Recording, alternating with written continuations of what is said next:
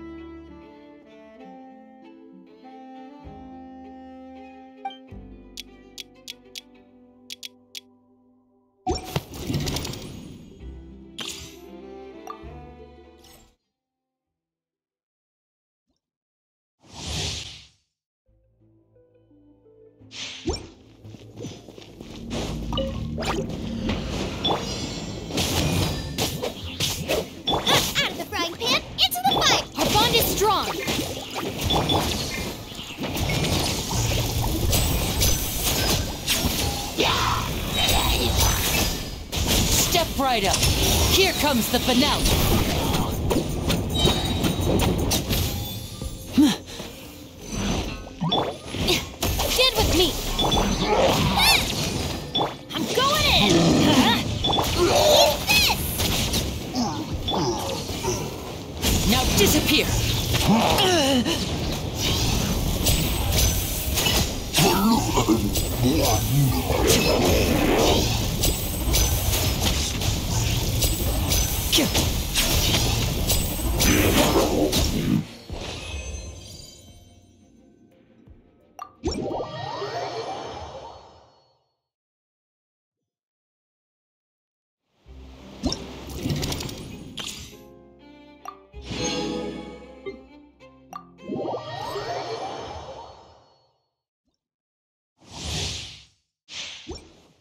easy.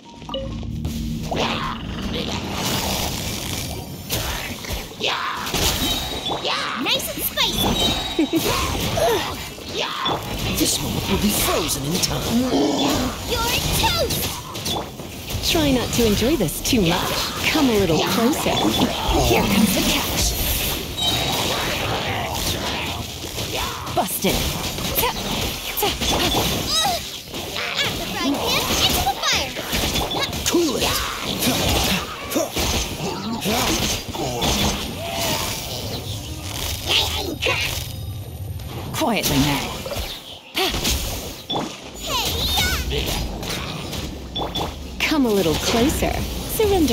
gentle.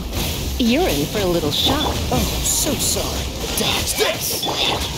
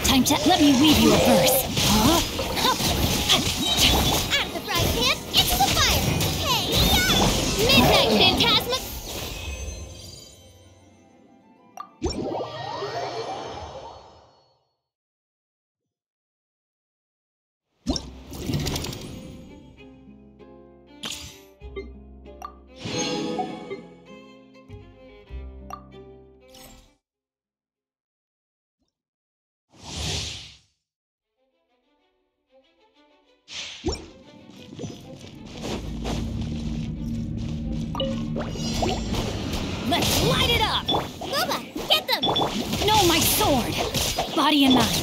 Come a little closer. Hup. Here! He, he, Everybody stand back! Huh? Out of the frying pan into the... Eat this! Ring cutter! you're in for a little shock.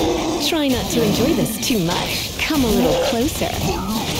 You're in for a little shock. Come a little closer.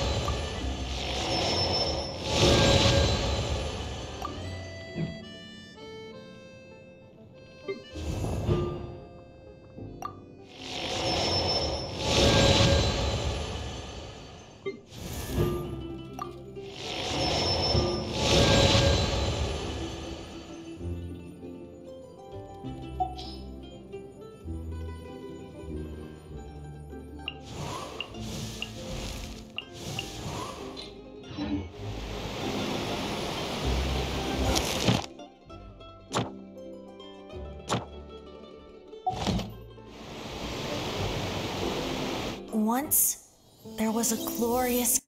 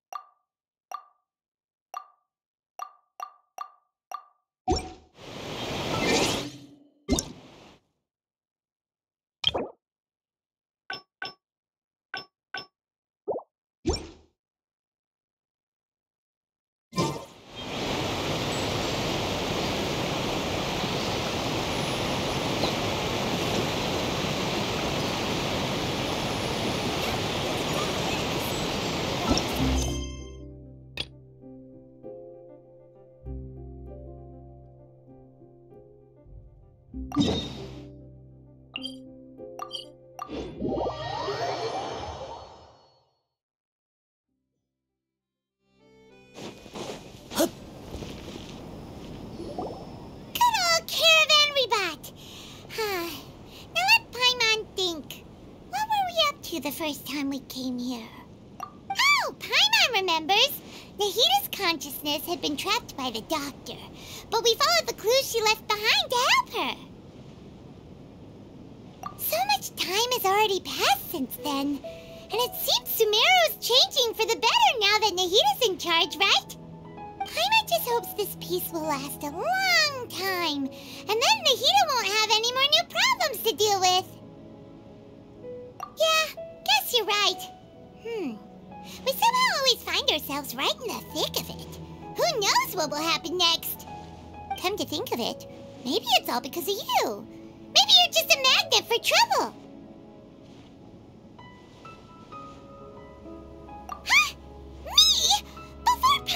Ran into you, Paimon never ran into any trouble. At most, when she was super tired, Paimon got caught in some strange whirlpool and sucked out into sea. And even then, you fished Paimon out.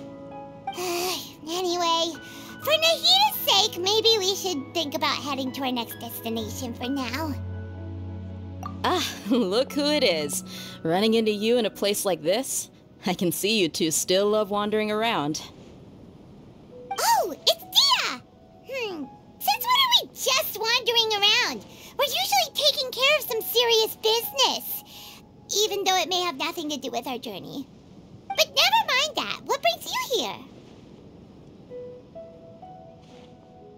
I just finished a commission in the desert for a usual client of mine. Nothing too interesting. Just escorting a shipment of goods. I'm on my way to report back. That's when I saw you two all the way over there, chatting away. What were you two talking about anyway? Huh? Y- you serious? Can't say I saw that coming. Hmm, but you are travelers after all. I guess you'd never stay for too long in one place. Bumping into you like this will become a rarity.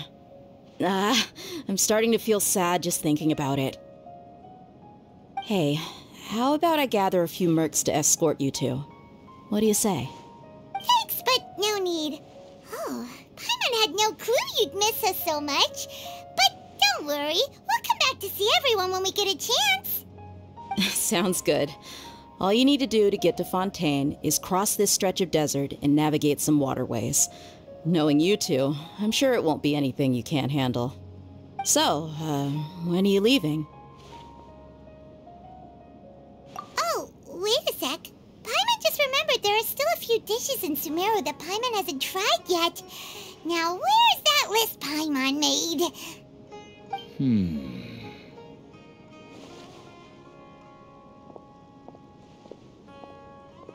I see. Guess you won't be needing a going away party or anything. It's sad enough to see you go like this. Though, now that I think about it, Sumeru wouldn't be what it is today without you. Seems true heroes always prefer leaving quietly. By the way, should we go say bye to Nahida? Oh, good point. Then there's no need to bother her in the real world. Then, I guess this is goodbye for now, Traveler in Paimon. Whether as a client or a friend, you're always welcome to come find me. Bye-bye,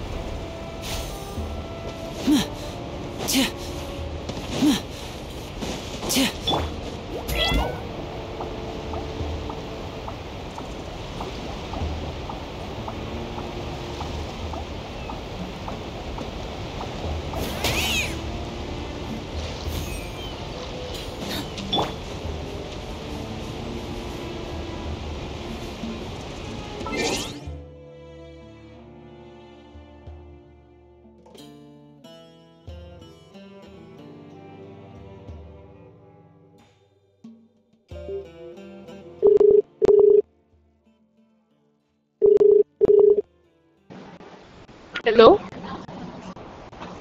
hello आपण ज्या व्यक्तीशी बोलत आहात त्या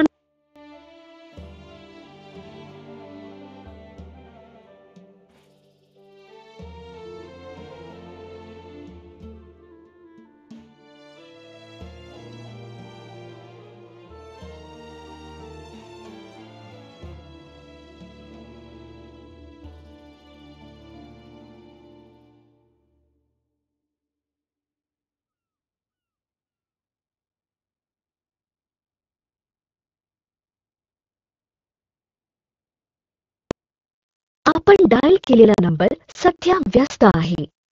कृपया थोड्या वेळानंतर पुनः प्रयत्न करा. आपके द्वारा डायल किया गया नंबर अभी व्यस्त है. कृपया कुछ समय पश्चात प्रयास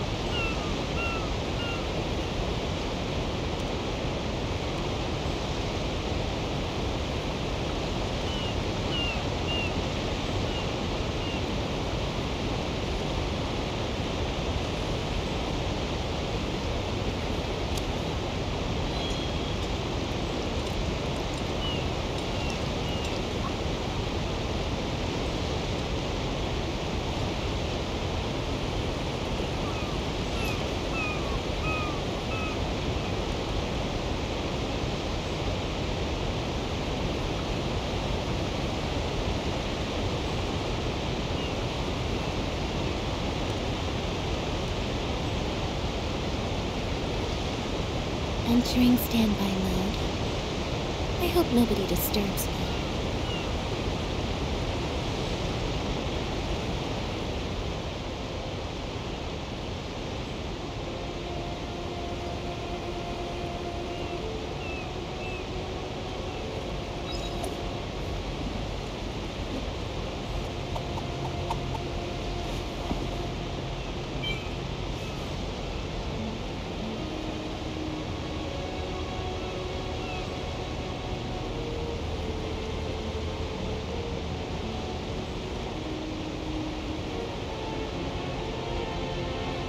Is ready. Now it's time for a short rest.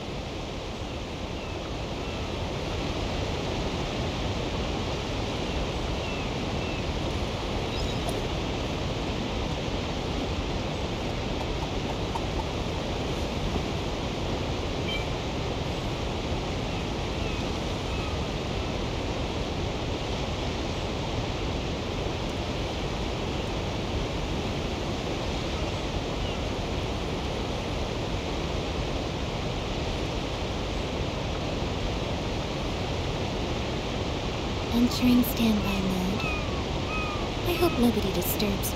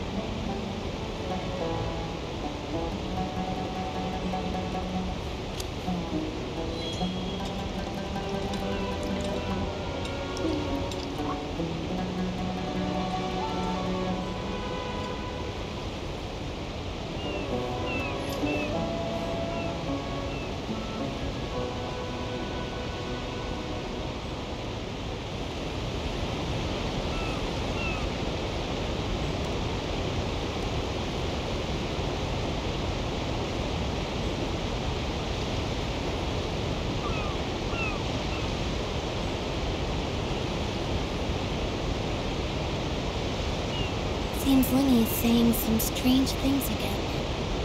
It's really worrying.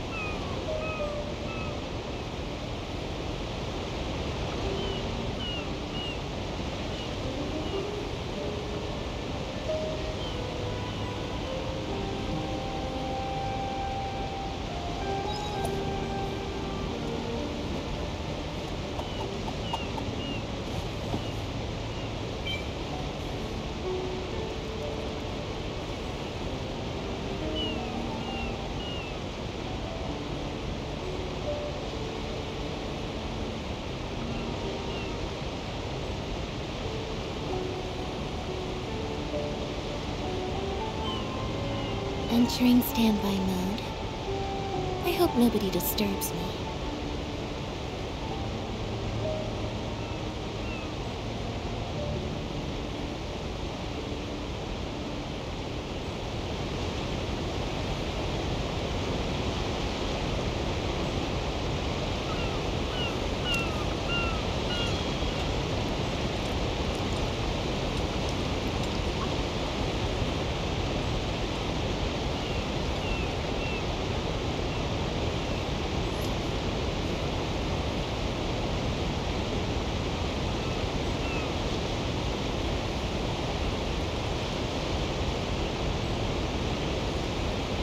Is ready.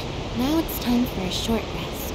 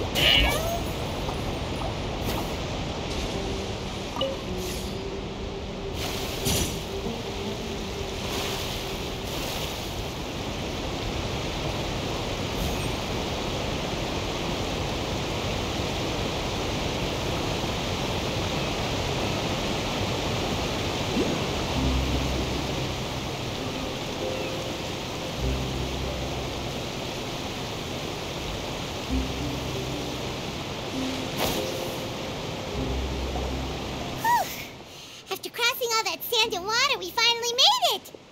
Oh, this must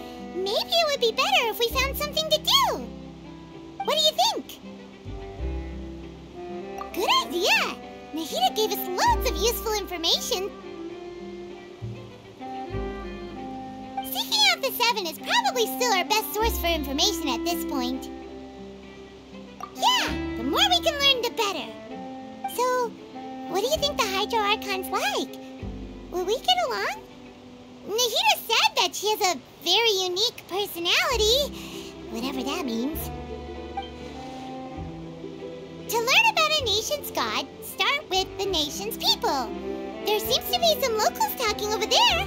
Let's go see if we can join the party.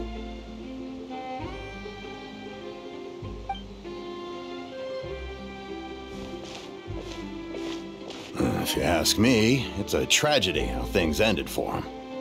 Clearly, he was a pretty decent person. Yeah, I didn't expect that kind of ending for him. I thought he would at least fight on a little longer for his family. I was expecting a sudden plot twist, but it's a pity that it never happened. Still, his story is quite the tearjerker. Uh, excuse me. Can I help you two? I couldn't help but notice you standing here listening. Uh, hi. We're travelers new to Fontaine, and we had something we wanted to ask, but you seem to be really busy talking about some kind of play, so we didn't want to interrupt. Uh, play? Oh, no, no, no. We're talking about something that really happened. In fact, it's a case that was just heard a few days ago. really? Like a real trial? But the way you were talking about it and the words you used just now made it sound like some kind of story. Well, good tales are often based on true stories, aren't they? And what you see in reality may also be someone deliberately putting on an act while harboring ulterior motives. Whether something is true or not simply isn't that important. The main thing is whether the story being acted out on the stage is splendid enough. Oh, but it looks like you're not from around here. You probably don't know that the Fontaine Court of Justice is called the Opera Epiclese, or more commonly known as just the Opera House. But, shouldn't court cases be treated a little more seriously than that? Not to question Fontaine's way of doing things, it's just that putting someone on trial is usually a very serious thing. no worries. Other visitors to Fontaine have wondered the same thing. You could say that we just don't want to waste the moving stories behind those cases. And as for your worries about whether the cases are treated with due reverence, we have the absolutely just and honorable Chief Justice Neuvillette, as well as the Oratrice Mécanique d'Analyse Cardinal, a machine created by the Archon. Between the machine and the Chief Justice, false charges and injustice are a thing of the past now. Oratrice? Is it some kind of machine, too? Oh, Paimon's curious. We should check it out if we get the chance. Wait, Paimon almost forgot to ask you our question. Um, do you know what we should do if we want to meet the Hydro Archon? Oh, that's easy. Just go to the Opera House. Lady Furina practically lives there. You could definitely say it's her biggest passion. Huh. I think what they mean is that they wish to speak with the Archon personally. In that case, I'm afraid it's going to be a tad more difficult. You'll have to make an appointment well in advance, and it'll depend on whether or not she has any time slots available. Huh. Is the Hydro Archon super busy taking care of official stuff? Wait, didn't you say that she's always at the Opera House? No, no. Lady Furina seldom takes an interest with the nation's affairs. The reason it's difficult to make an appointment is simply because she's incredibly popular. That's right. After all, she is the Archon. Though she may tend to get a little dramatic from time to time, people can't get enough of her. Huh. First time Paimon's ever heard of an Archon being described that way before. Wait! Paimon gets now! The Hydro Archon is kinda like a big celebrity here, right? Yeah, I suppose you could say that. Perhaps you could even say our mascot. Hang on. This is still Fontaine's Archon you're talking about. You should show some more respect.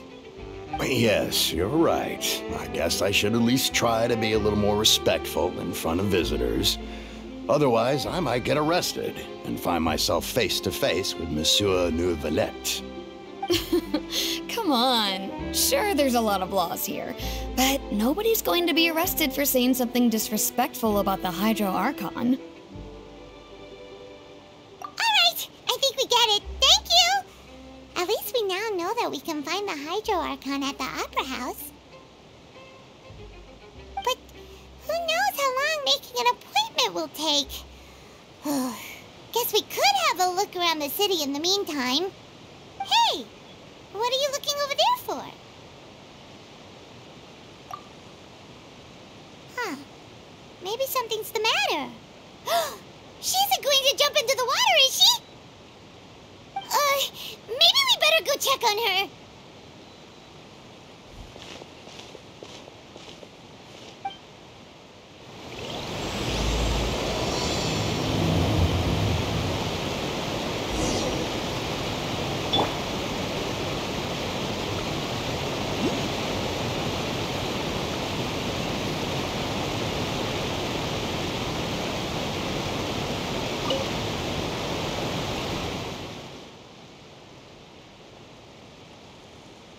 Uh, hello there.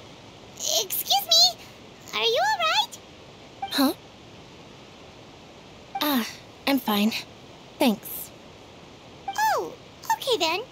We just noticed that you seem to be worried about something. About many things, actually. But there's nothing I can do but just keep my troubles to myself. I was just reminiscing about a place my brother and I would play when we were kids. It was just atop that hill over there. See? Uh, you're pointing at the sea. Wait, are you saying that you and your brother lived in the water? No people call the waters around Fontaine a sea. It's actually just an inland lake that's filled with fresh water. And though I can still see that hill clearly in my memories, now it's been completely submerged. He would skip and jump, tossing sand in the wind. The sun shone brightly, and the air was filled with the scent of the sea. But now, the water is gradually swallowing our memories. it won't be long before it swallows us. Uh, sorry. Paimon doesn't really get what you mean. Ah, I don't believe we've had the pleasure of meeting. Are you Lynette's new friends? Oh, and you are? Thanks for looking after my sister. She often comes here to reminisce about our childhood, that's all. There's no need for any concern. Oh, allow me to introduce myself. I'm Lyney, and this is my sister Lynette. If I had to guess, I'd say you must be travelers from abroad. Nice to meet you. Paimon is Paimon, and this is the Traveler. We just arrived in Fontaine. We were just talking with your sister. Uh, even though we didn't really get what she was saying. Hmm, I see. It's unusual for Lynette to be so willing to talk with anyone. In fact, she seldom speaks at all. I'm usually the only one she ever talks to. Oh, really? Then you two are just like us. Paimon's always the one talking for some reason.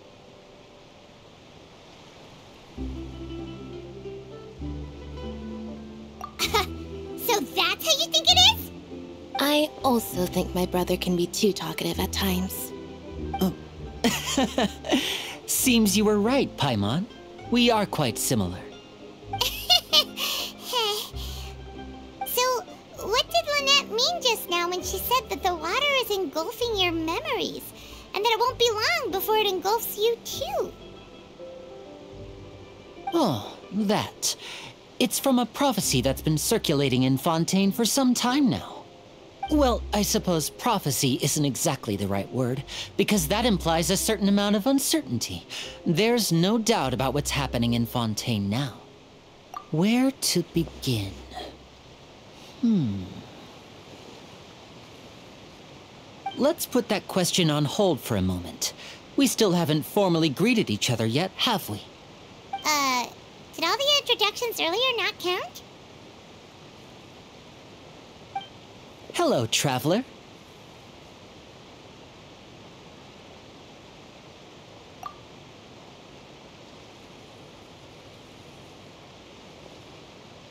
And hello, Paimon.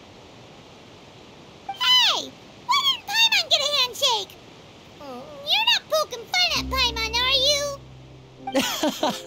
Please, don't take offense. Just consider it a sort of etiquette we have here in Fontaine when making new friends. You should remember it. It might prove useful. Oh, all right then. Well, Paimon's just happy to have a local friend now.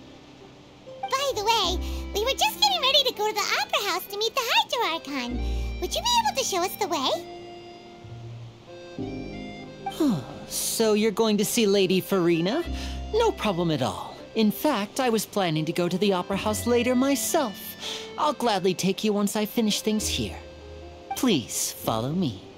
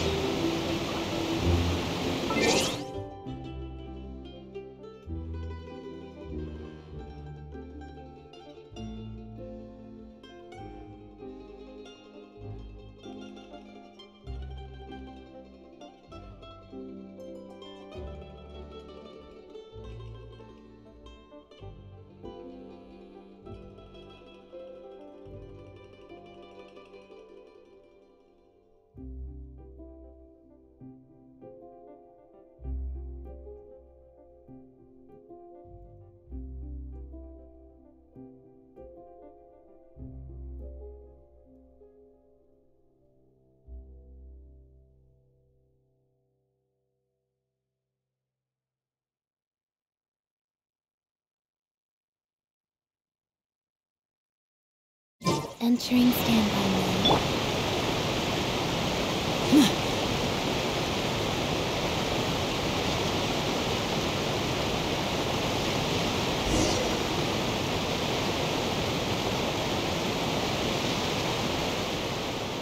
Uh, you said you were going to see Lady Furina? Well, it seems Lady Furina has come to see you.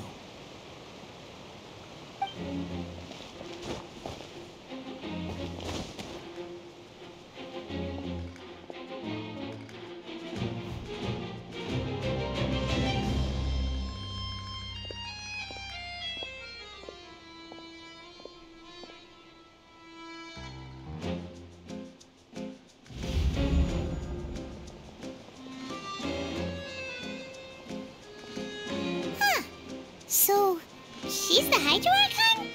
But how did she know we were looking for her? My dear people, rich and poor, those with cup in hand and those with nothing at all, raise your glasses in celebration. If you don't have one, then just raise your hand in lieu.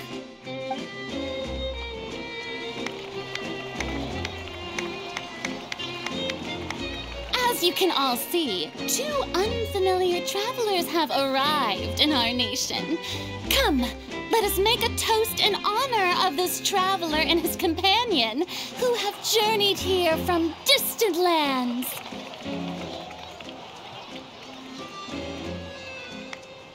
Uh, is she talking about us?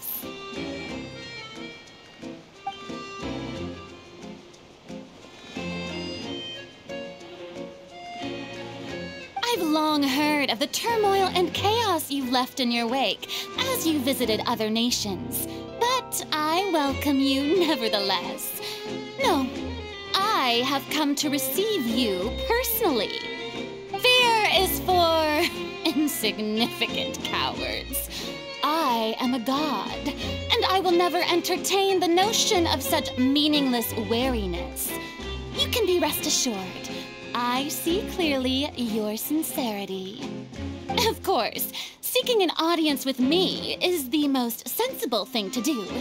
It will allow you to truly behold my power and witness my authority. Intelligent people always gather under the correct banner. I, Focalors, hereby welcome you to the nation of Hydro and acknowledge the value and significance of your trip. Now, you may rejoice in this. Yeah, Paimon still can't believe it. Feels like we've only been here for a few minutes. But the Hydro Archon's entrance was, uh, how should Paimon describe it? A little over the top? Ahem. uh, Miss Hydro Archon? How did you know we were coming? Ah, I see. As Outlanders, you inevitably lack even some of the most basic understanding. Don't forget that even the gods can be divided into the mediocre and the excellent. I suppose it's only natural for you to be awestruck by my abilities. You had best stop and consider.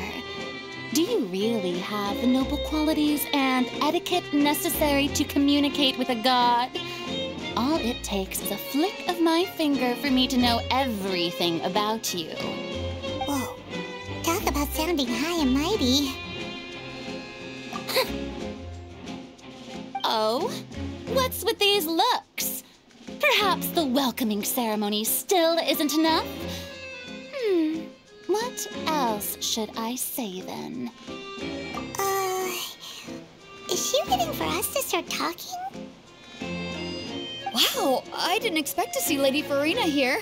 What a surprise! Wait, does this mean they're the legendary blonde traveler? How did I not notice before? Hey, what's all the commotion? Oh, is that Lady Furina? Is there some kind of drama going on? Of course. That's the blonde traveler. The one all those stories are about. Lady Farina came here to personally see him. Oh, I bet this is going to be the duel of the century. Ooh, I've got to see this. I knew Lady Furina would never disappoint.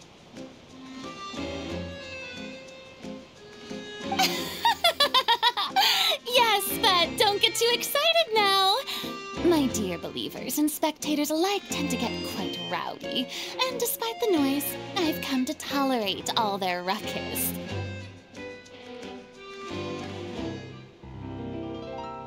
You may consider this my reward to all of you. I have determined that there will be an epic duel between myself and this traveler from another land, just as you were hoping to see. Uh, now she wants to fight? Aren't we getting a little ahead of ourselves?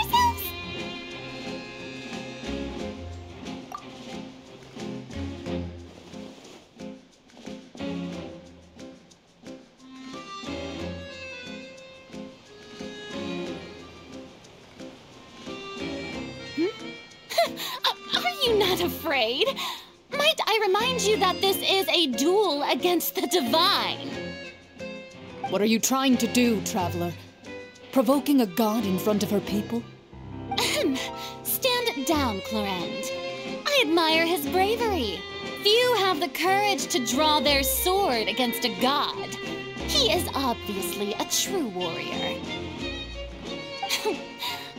Unfortunately, people nowadays only crave to be thrilled, and a mere duel will not slake their thirst for excitement. Yeah, she's right. Just a duel wouldn't be all that interesting.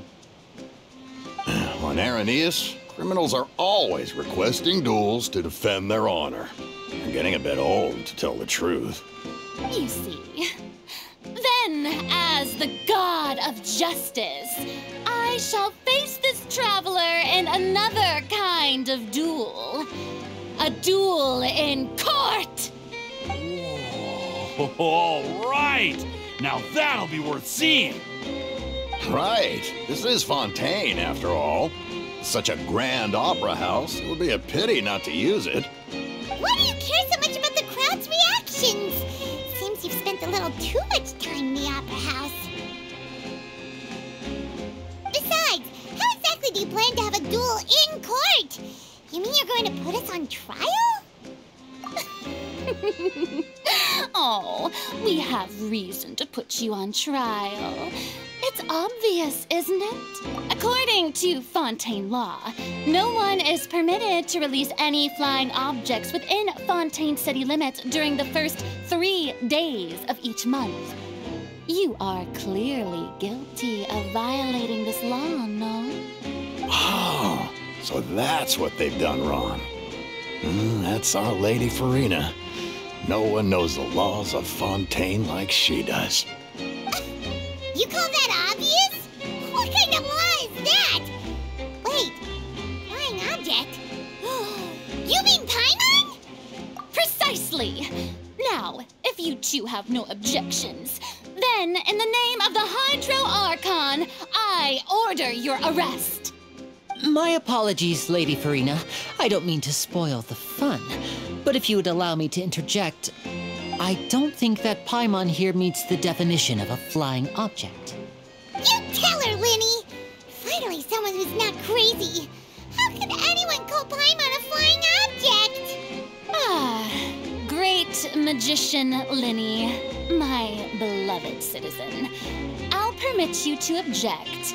But how exactly do you plan to prove your claim? As a magician who just rained on your parade, I naturally should shoulder the responsibility of saving the show. So, with such an audience gathered here, allow me to perform a trick for everyone.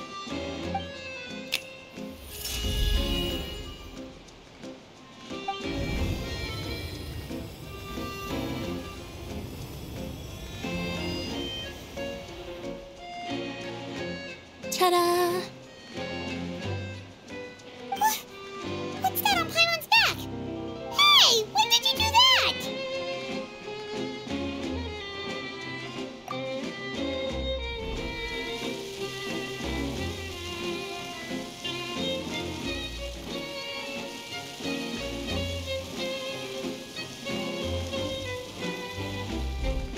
There. As you can all clearly see, Paimon should be classified as, well, something like a balloon. This rope has been in the traveler's hand all along. It was just that no one could see it before. Huh? You call that magic? You've got to be joking. I thought it was pretty good. Nice one. Huh.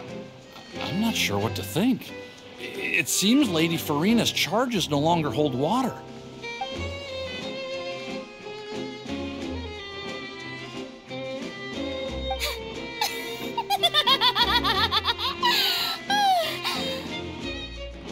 amusing.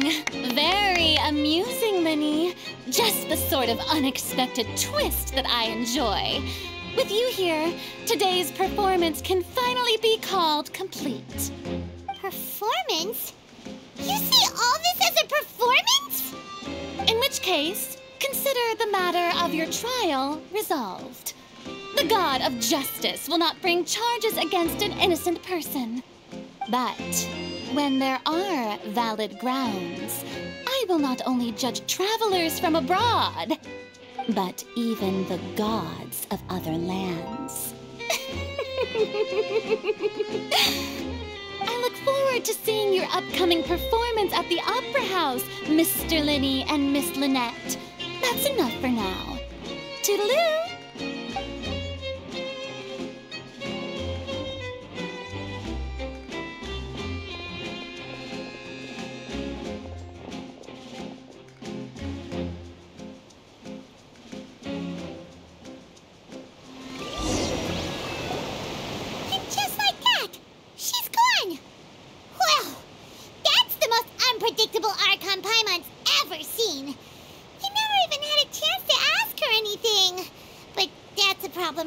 Problem for future Paimon. That whole scene just now was really... Don't mention it. I just happened to remember that there was such a law, so I did a little preparation, just in case. I didn't think it would actually come in handy. So, now do you see what kind of god Lady Furina is? She can be a bit confusing at times, but she is still amenable to reason. Anyway, Paimon had no idea you were a magician, Lyney. It sounded like you'll be performing at the Opera House, right? I just know a few simple tricks I use to make a living. Lynette is my assistant. It will actually be my first time performing on the most prestigious stage in Fontaine, the Opera House.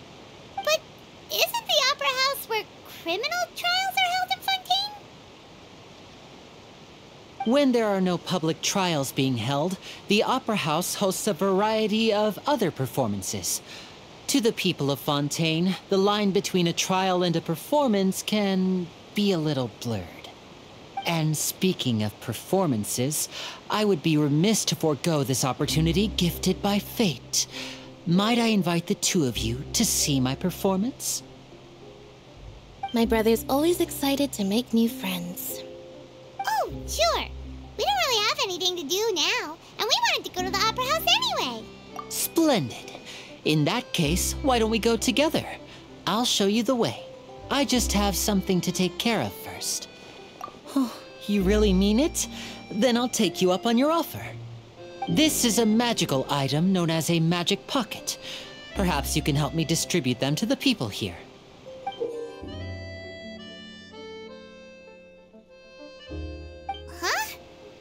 Are they going to use it for? About that. Hmm.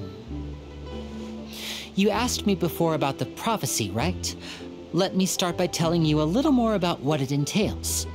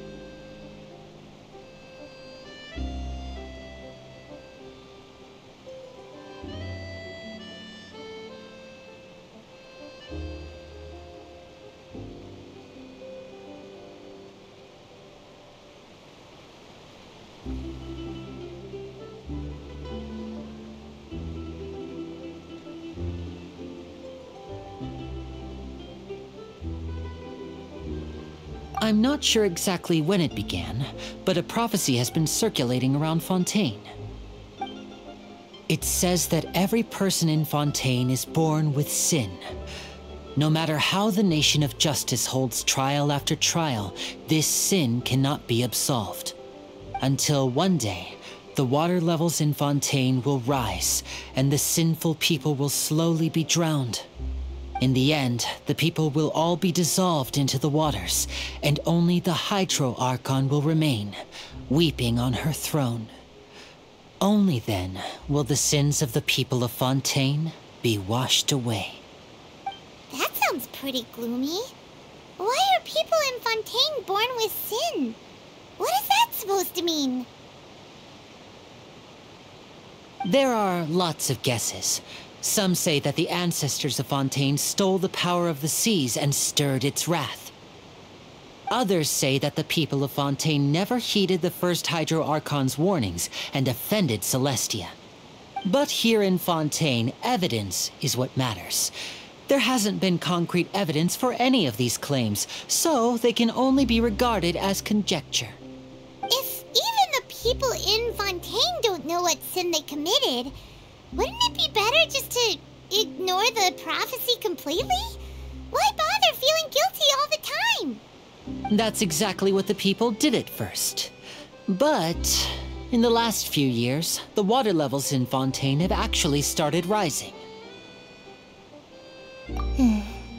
Many places have already been completely submerged, and now lie beneath the sea. Many people carry on with their lives as before and shrug it off as a natural phenomenon. But my family and I think that the people of Fontaine shouldn't ignore the possibility, which would end up sentencing them to death. We hope that at least the people who reside near the waterfront can move away before it's too late. So, we've started distributing magic pockets to them. As a magical item, these magic pockets have astonishing capacity. I'm sure they will come in handy when people are moving their belongings. Oh, Paimon gets it! It's like preparing for a rainy day! But this is more than a bit of rain. Hmm. Perhaps only absolute power could ever contend with such a catastrophe. but who knows? We're just tiny specks in the grand scheme of things. Now, if you'd like to help, then please give these magic pockets to anyone nearby. Be sure to convince them to take it, regardless of what they say.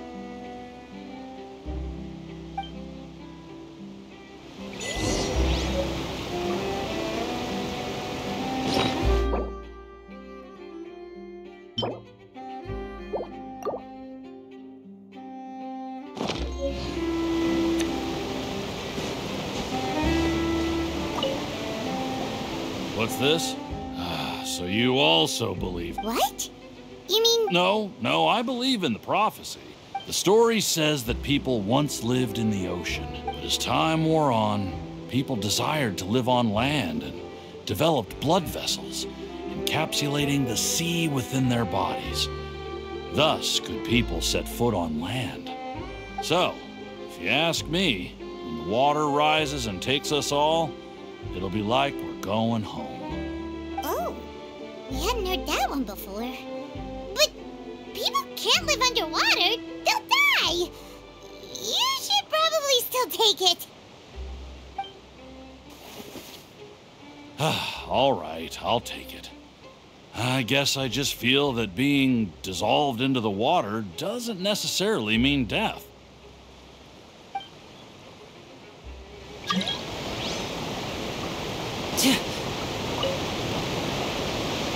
So you're the blonde traveler that everyone's been talking about. Uh, My apologies for not recognizing you earlier. Oh, a magic pocket?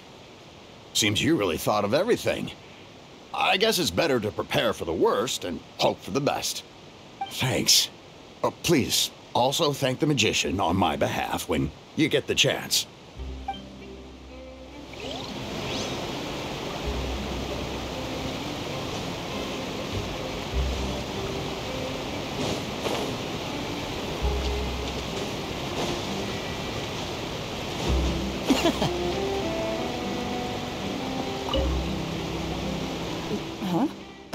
I don't want that thing. Way I see it, if the prophecy's true, it's still gonna be a long time before the water can cover everything. Life is all about living in the moment. What use is there in worrying about the future all the time? We'll cross that bridge when we get to it. You should still take it. You never know when it'll come in handy. Oh, all right, fine. Thanks.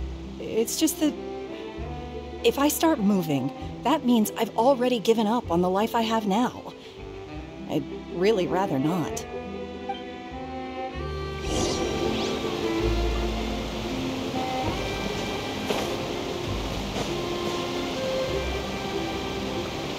Oh, you already handed out all of the magic pockets? Hm, that was fast.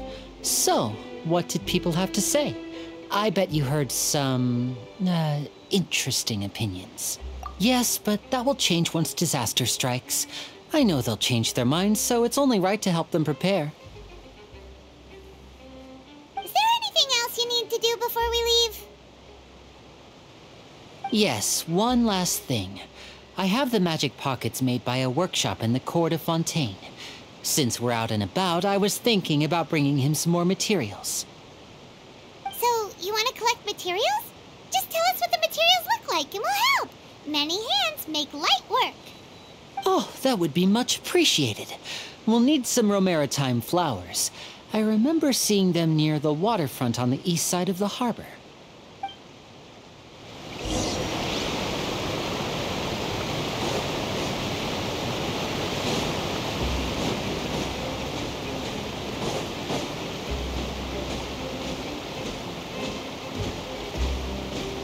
Hmm. It seems we have to use Hydro Romaritime flowers.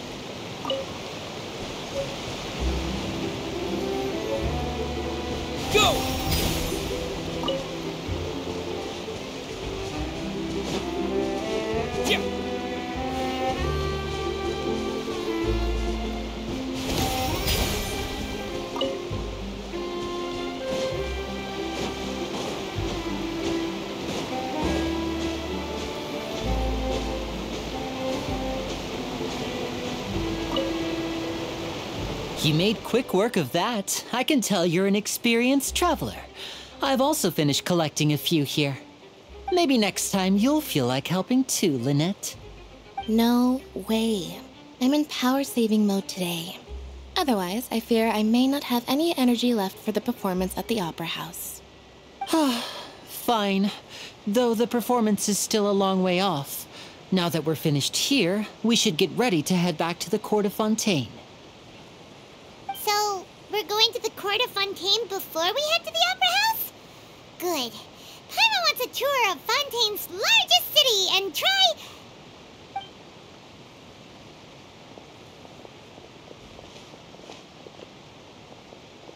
Wait, shh. Have you noticed that person over there? The young girl. Huh? What's wrong with her? Paimon didn't notice anything. She's obviously a thief. Magicians and thieves practice similar methods. We divert attention, and a distracted audience is one that won't discover what you're really doing. Watch her movements carefully.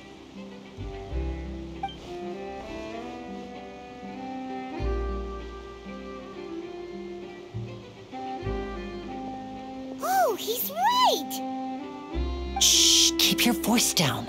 We need to think of a way to catch her, but it seems she's very alert.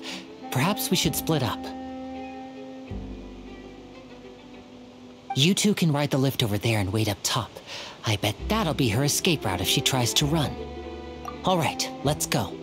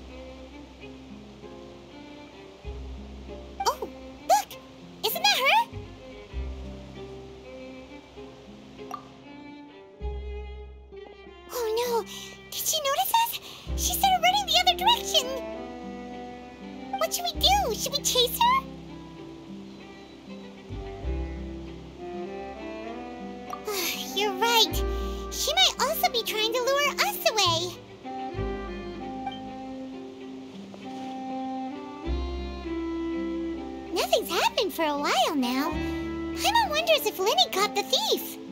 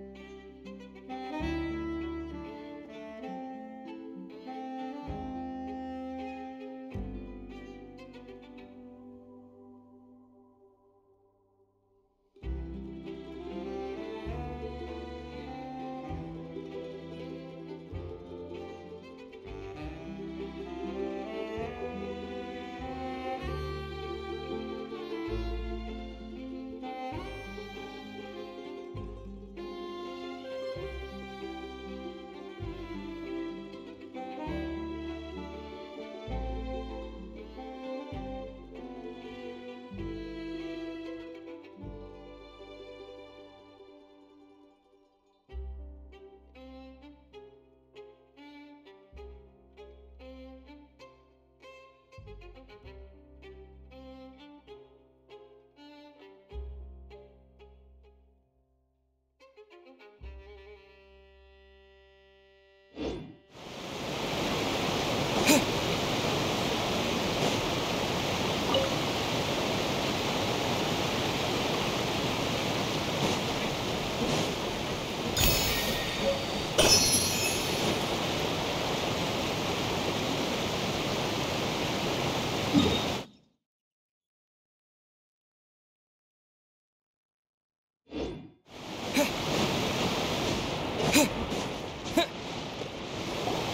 Are you sure that's all she took? You should check to make sure you're not missing anything else. N- no, that was all. Oh, I can't think. Anyway, I should be going now. Oh, were you returning what the thief had stolen? That's right. Pity I wasn't able to catch her.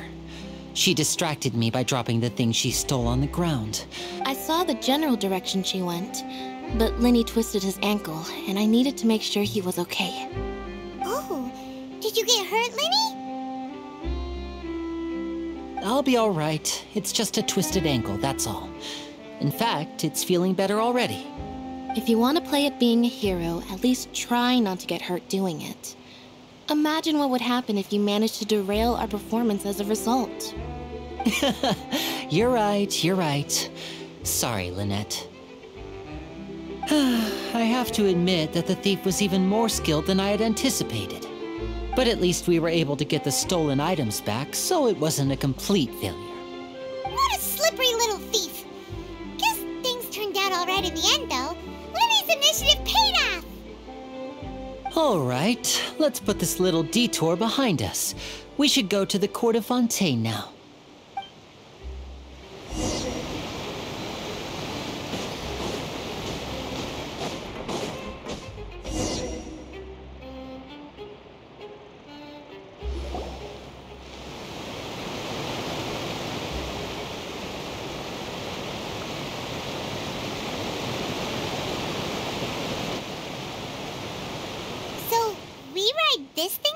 To the city?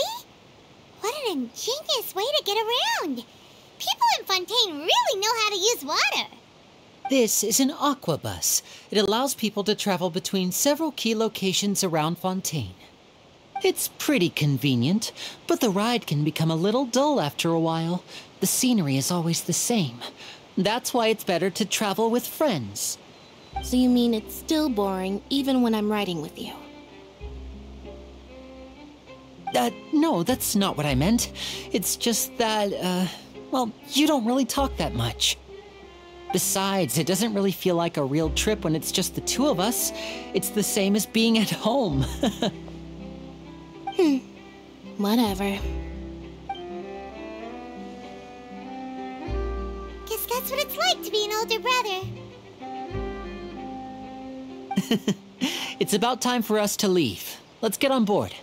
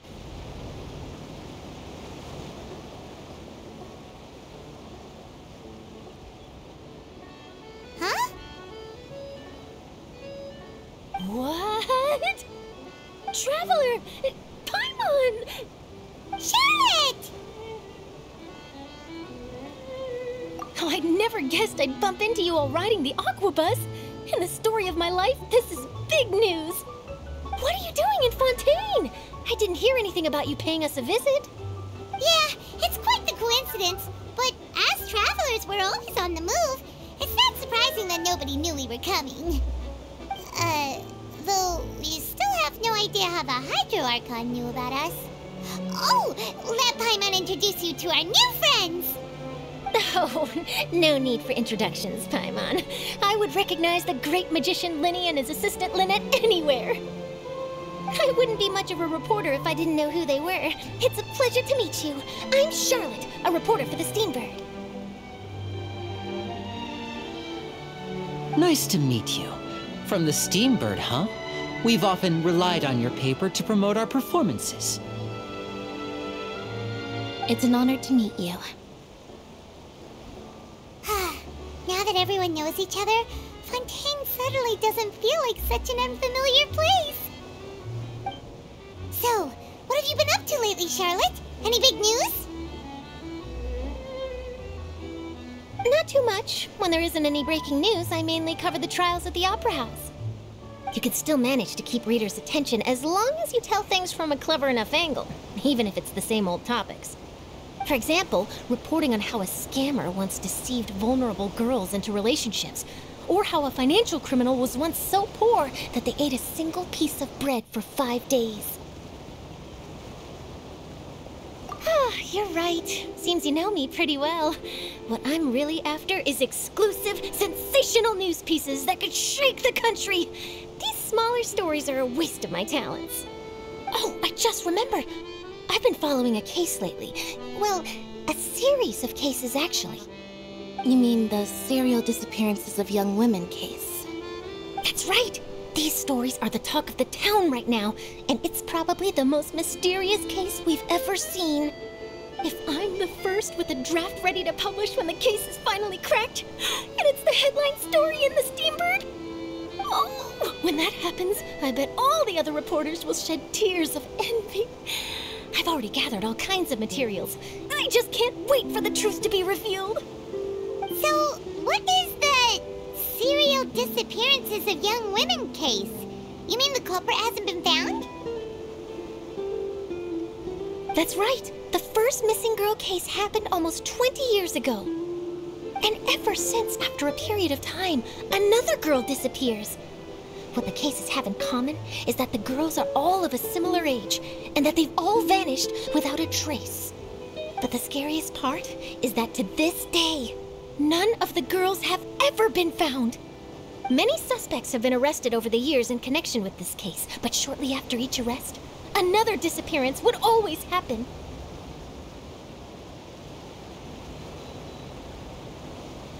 Yes, it's possible.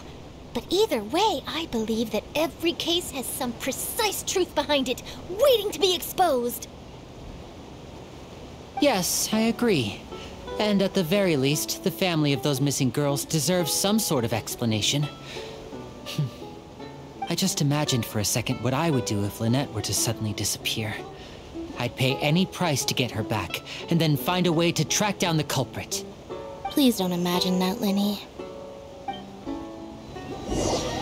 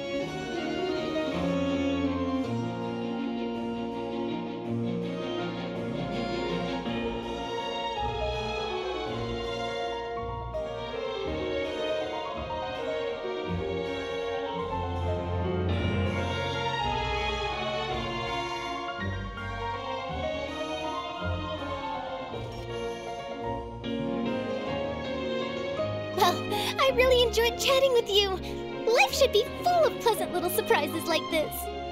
Yeah, us as well. The ride went by too quickly. Ah, I have an interview to get to. I should get going before I'm late.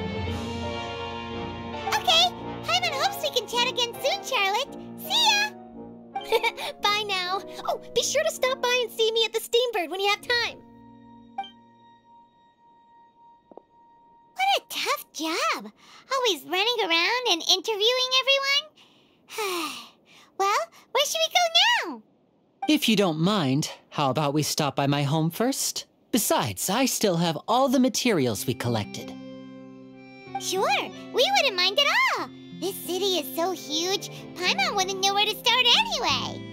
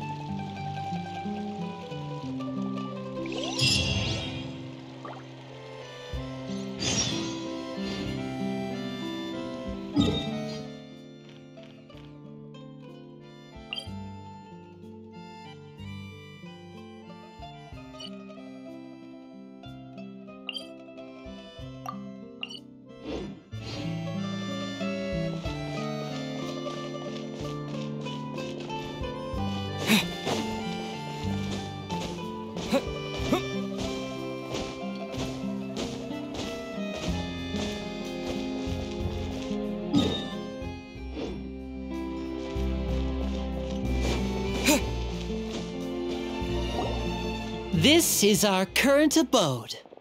Ah, Freminet, you're home. where did everyone else go? I have some new friends that I would like to introduce. Oh, they all just went out a moment ago.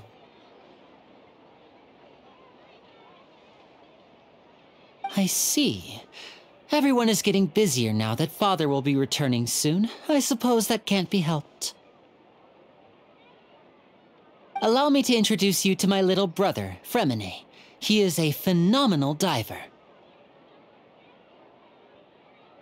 Uh, hello. Nice to meet you. Paimon is Paimon, and this is the Traveler. Oh, you sound very proud to have a diver as a brother, Lyney.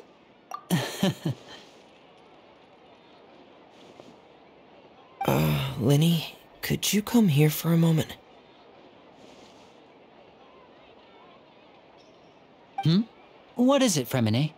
Do you have something to tell me?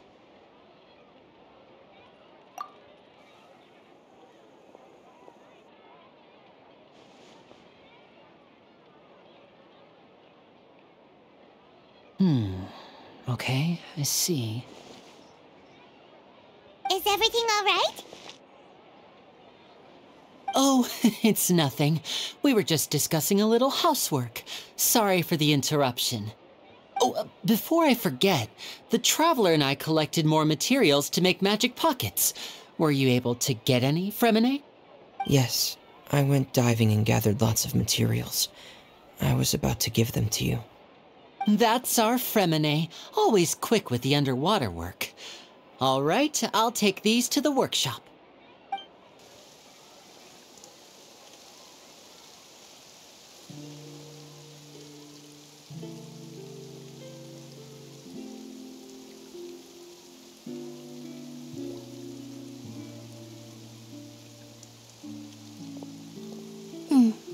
Looks like rain. Oh, you're right. But wasn't it clear and sunny just a moment ago? Hmm. Fontaine's weather sure is weird. I'm afraid that's just how it is here. It often rains on days where there are trials being held in the Opera House, but don't worry, it'll clear up soon enough. Hmm? What's wrong, Freminet? There's a legend about the rain that I tend to believe. It's said that a dragon of water once resided in Fontaine. Though we don't know where the dragon went, every time it weeps, the skies will cloud up and pour out rain. When I was a child, my mother told me that if I wanted to go outside and play, I should yell toward the sky at the top of my lungs. Hydro Dragon! Hydro Dragon! Don't cry! If it's an elemental dragon, then having the power to make it rain wouldn't be very unusual. Hmm. Let Paimon try something. Hydro Dragon! Hydro Dragon! Don't cry! Hmm? Hmm. Doesn't seem to be of any use. It is just a legend after all. You know, you might be a more popular magician if you understood the concept of romanticism. Or could at least play along. Sorry, it might be because we've never met the Hydro Dragon. Perhaps it can't be comforted by the words of strangers.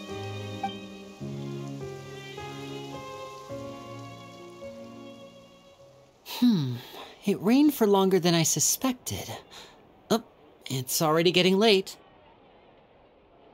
Was there something you needed to do, Lyney? Yeah, some preparations for the show at the Opera House. I need to find a way to catch the last aquabus of the day. On the day of the performance, just ride the aquabus to the island of Araneus. I'll have Lynette meet you at the fountain in front of the Opera House. Oh, uh, are you leaving now? What is it, Freminet? I'm in a hurry. Oh, I get it. You feel nervous delivering the materials for the magic pockets, is that it? Perhaps we could trouble the Traveler to help us take these materials to the Beaumont workshop and deliver them to the owner there? I'm afraid that Freminet can be quite introverted, and the boss there tends to be pretty talkative. Freminet has always been a little afraid of her. No trouble at all. Don't worry, we're on the case. Sorry for the inconvenience. I'm quite useless when it comes to such tasks. I'll think of a way to make it up to you. Oh, no need, no need. This will be a walk in the park for us.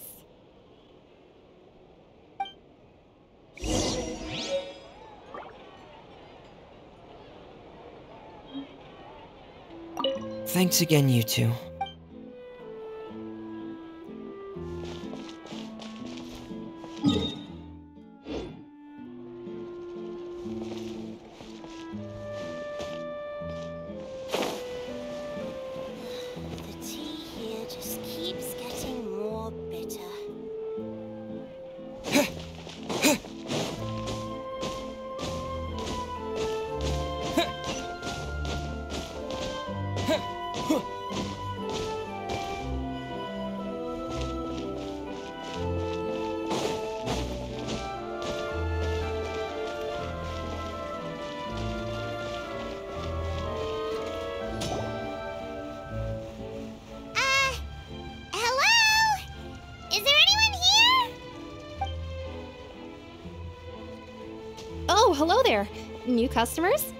Looking to buy, or do you need something made? Or perhaps you're just looking for a chat with me. Oh no, we're just here to deliver some materials. Here they are. They're for making. Uh. What were they called again? Ah, these must be for Magic Pockets! I could tell right away. I've already made several orders worth now.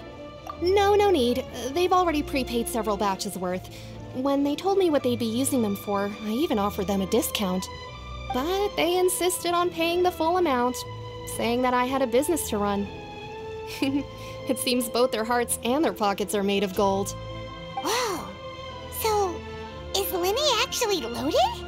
Mm, I can't say for sure, but who knows?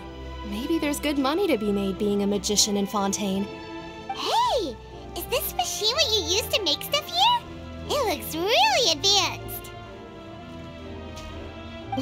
Your hands when a machine can do the work? It would be a waste not to use the latest technology, and wasting is a kind of crime. But where does a big machine like that get its power from? Ah, well, it's a little complicated. I'm not sure I can put it in layman's terms for you. But basically, everything we usually use here in the city is powered by indemnitium. It's a type of energy that's produced from trials. Huh? How can trials produce energy? Well, I'm not completely sure of all the details myself, but basically, when a trial is in session, the Oratrice Mécanique d'Analyse Cardinale harvests people's belief in justice and converts it into energy to be used all around Fontaine. So that's what its other function is? Hmm. Paimon heard that the Oratrice was created by the Archon to make judgments. But Paimon get it. How could something unreliable like people's beliefs be turned into a stable power source for these machines?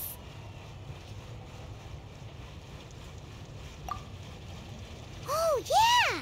So that means the Hydro Archon relies on the machine to take the energy created by belief and turn it into power for all of Fontaine, right? Even though I've never heard anyone really put it that way before, it sounds like it makes sense. Besides indemnitium, we have another type of energy called pneumousia. It isn't produced by the power of the Archon, but it is unstable by nature. Even now, it still cannot be widely used by civilians. I thought I'd find you hard at work, but here you are chatting the day away.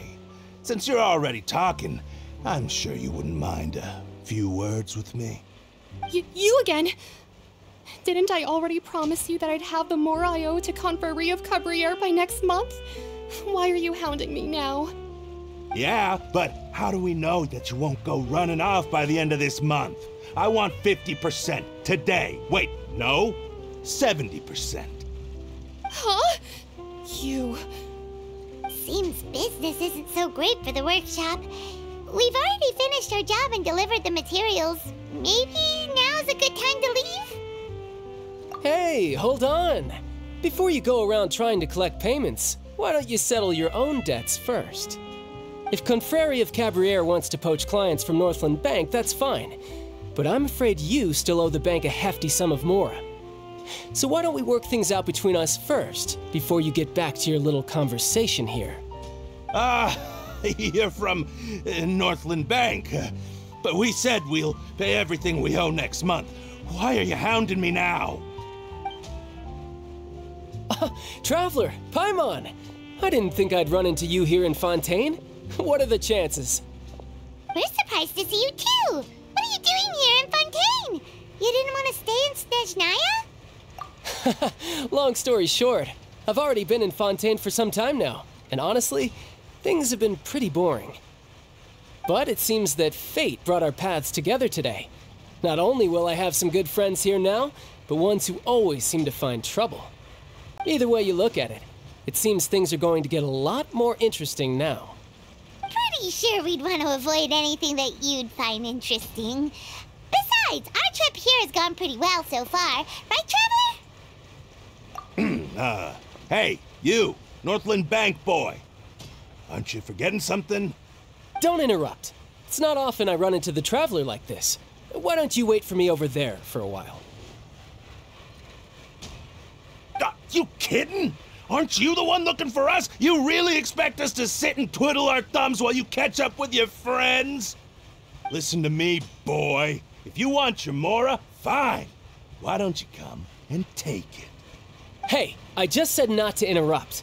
Oh, by the way, Traveler, the last time I took Tonia and Teucer ice fishing, Teucer said, Hey! That's way over the line! All right, boys, let's see who has to pay up now! Uh, can you at least let me finish one sentence? Fine. Though the bank told me not to get rough with our clients. You're the ones who started it. This is an act of self defense. you two will have to be my witnesses, okay? I'm sure this won't take long.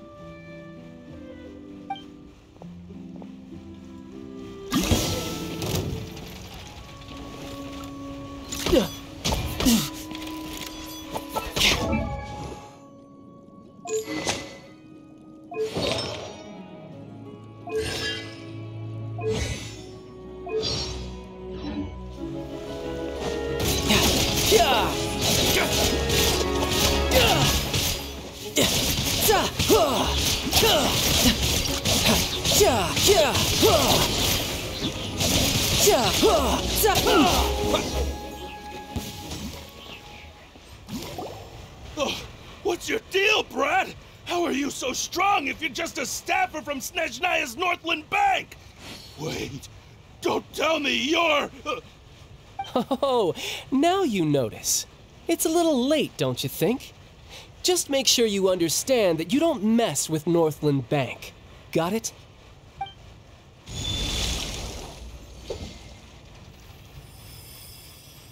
huh? Now's my chance!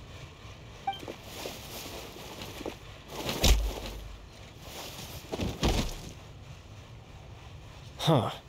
That was weird.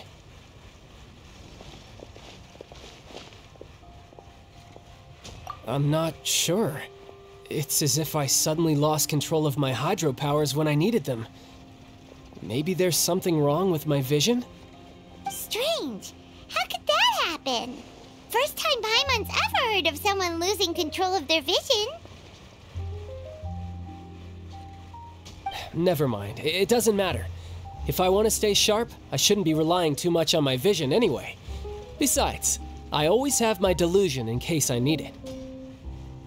So what are you doing in Fontaine, Childe? I don't see its work for Northland Bank. Well, I guess it's because I've been in a bad mood lately. Huh? What kind of reason is that? Wait, since when do you feel down about anything? I don't know. Maybe I still have a lot to learn about myself. But recently, there seems to be some sort of restless power stirring inside of me. And I don't know why, but every now and then I feel like I'm in a terrible mood. Hmm. Maybe you losing control of your vision just now is connected with that power you're feeling inside. Hmm, that is a possibility. I can't remember if I ever mentioned it before, but when I was 14, I fell into some unknown abyss. It was during that time I learned nearly all of my abilities. The one who took me under her wing and taught me was named Skirk. She was always quiet and very mysterious. Nobody knew where she came from or what she had been through, and she was always very strict when teaching me combat techniques. One time, I asked her why she was willing to take me on as an apprentice. From what I could make of her answer, it was because I had awakened it, and traces of it remained on me. She said that all my combat training would be useful in the future. But what is it? What did you awaken? She never explained that, but my guess is that it's related to a dream I saw when I had just fallen into that abyss. In my dream, I was in the deepest depths of the sea, and the boundless seabed was all around me. But in front of me appeared a whale that was so massive, I felt like I couldn't breathe. A whale? Oh, that sounds familiar! When we fought against you before, you summoned a huge whale that seemed to leap at us. Is that the one? That's just an abstract form of a whale that I create using my elemental powers. It takes that shape because the scene I dreamt of the whale has always been stuck in my mind. I'll never forget it. So you used the whale as inspiration for one of your moves? Huh. Seems a little twisted to Paimon. So why don't you just go ask your master? Maybe she knows the answer. You make it sound so easy. Ever since the incident I experienced there, I've never stopped searching for Master Skirk and that unknown abyss. But it's been years now, and I've still found nothing. There isn't even a trace of the place where I remember falling into the abyss. Oh, it sounds like some kind of ghost story. Yeah, I'm out of leads at this point, but there's nothing more I can do. It seems that strange encounters in this world tend to be elusive like that.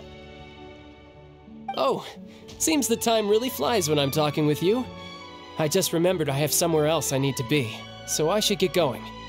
What? More work for the Northland Bank? And no, it's more of a personal appointment. Lately, I've been sparring with some of Fontaine's official champion duelists whenever I'm feeling bored. Official champion duelists? You mean it's their job to duel? Yep, in Fontaine, before a criminal goes to court, they're given one chance to defend their honor by requesting a duel with an official champion duelist. The champion duelists are all powerful fighters selected from among the nation's best, and the duel itself is a no holds barred fight with no specified stopping point. So, engaging in such a duel is regarded as a symbol of defending your honor. If a criminal manages to win the duel, they'll be acquitted. But if they lose, they'll have no choice but to stand trial. And the worst case scenario is that you're simply killed in the duel. Though it's rumored that Fontaine has a death penalty, from what I can tell, no one has ever been officially sentenced to death. So, really, the only people who opt to duel are those who have suffered a grave injustice in being accused, or those who greatly value their honor. Otherwise, why gamble with your life? So, do many people actually get out of their trials by winning the duel? Apparently, it's exceedingly rare for anyone to actually win. Fontaine probably enacted this system as a way to show that the nation respects the honor of its citizens. Besides, none of the champion duelists are to be trifled with, which is exactly why I was itching to face them as soon as I got to Fontaine. Apparently, the one I'm meeting today, Clorinde, is the strongest of the champion duelists. I had been asking her for some time before she finally agreed to face me today. Well, that name somewhere before. Clorinde. Oh, before I forget, I want you to have this. Huh? Your vision? You're seriously just giving it away? I'm just worried that it could become uncontrollable again. I'd be pretty upset if it got in the way of my duel, so I think I'll be better off without it for now. Besides, I just need you to hold on to it for a short while. I'll come retrieve it when I have some time later. Paimon knows what you're up to. You just want an excuse to come talk to us again, don't you? Whatever gave you that idea? I'll be in touch later.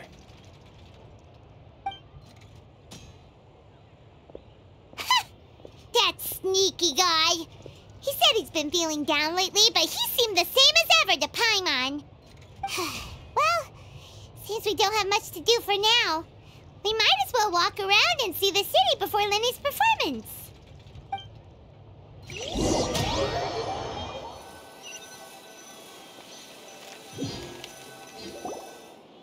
Wow! Who could have seen that coming? The reporter who was barely around for most of the story was the murderer all along! Uh, sorry. Paimon was just surprised, that's all. Paimon never saw that twist coming. The murder mystery novels here are amazing! The whodunits here in Fontaine are a lot different than the light novels you see from Yae Publishing House. Both have their merits, but Paimon thinks this style of novels are more, well, novel. It's so exciting to reach the moment when the mystery is uncovered, especially in the one Paimon was just reading. You should buy a copy and read it too. Oh, sorry about that. Paimon will be more careful next time. Uh, hey, shouldn't we be heading to the Opera House to see Lyney's performance soon? It's almost time for the show to start, so we should get going. Lyney said that the Opera House is on Aranias, so let's go ride the Aquabus! Over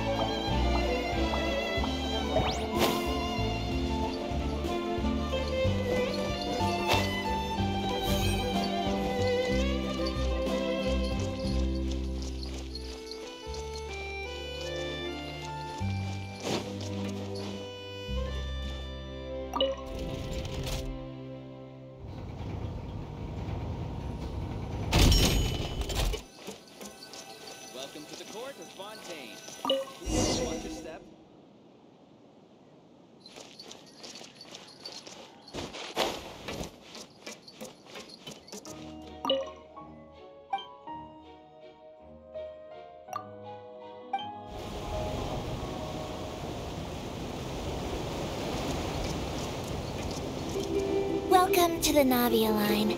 I am Elfan. The boat will be departing imminently. Please do not stick your head, hands, or other body parts outside the boat. The Aquabus operator is not responsible for any accidents or injuries resulting from doing so. Also, please remember to buy the Steambird, though I don't read it myself. Destination of the current tour is Arenias. Points of interest worth visiting include the Fountain of Lucine and the Opera Epiclese. If you look to the left in the direction we are currently traveling, you will see the famous Fontaine Research Institute up in the sky. An experiment gone wrong turned new sightseeing opportunity. Human ingenuity truly is a wondrous thing.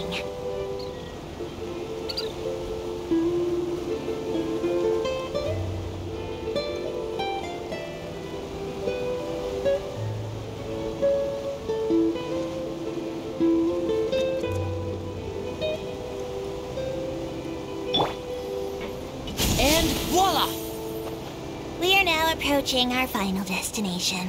Please be sure to bring all your personal belongings with you as you disembark. Even though I will take any forgotten items to the lost and found, the paperwork is rather annoying as Melusine hands are not suitable for grasping pens. Please be careful when disembarking. It has been my honor to be your tour guide this trip. Thank you.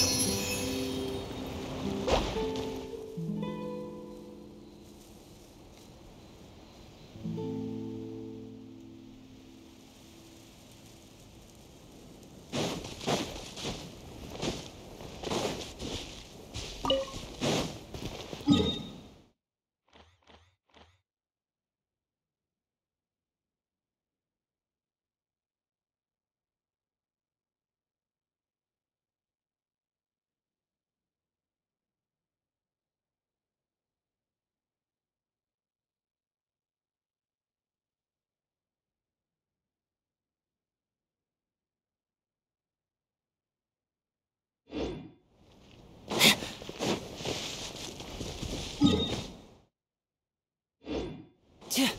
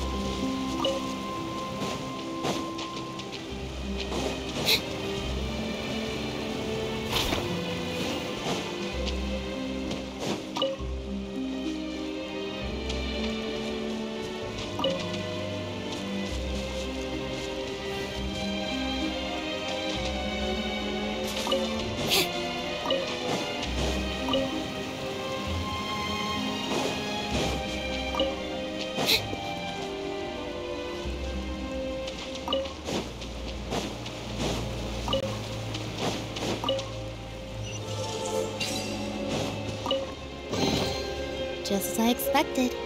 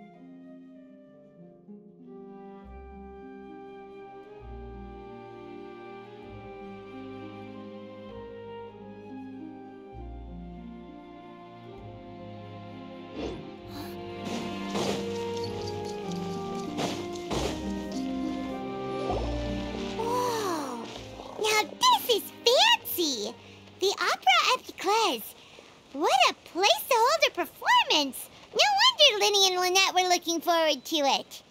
Huh. Looks like there's a lot of people standing around the fountain up ahead. Oh, Archon, please bless us with a bright and healthy child. We pray. I don't know why you always feel the need to ask so much.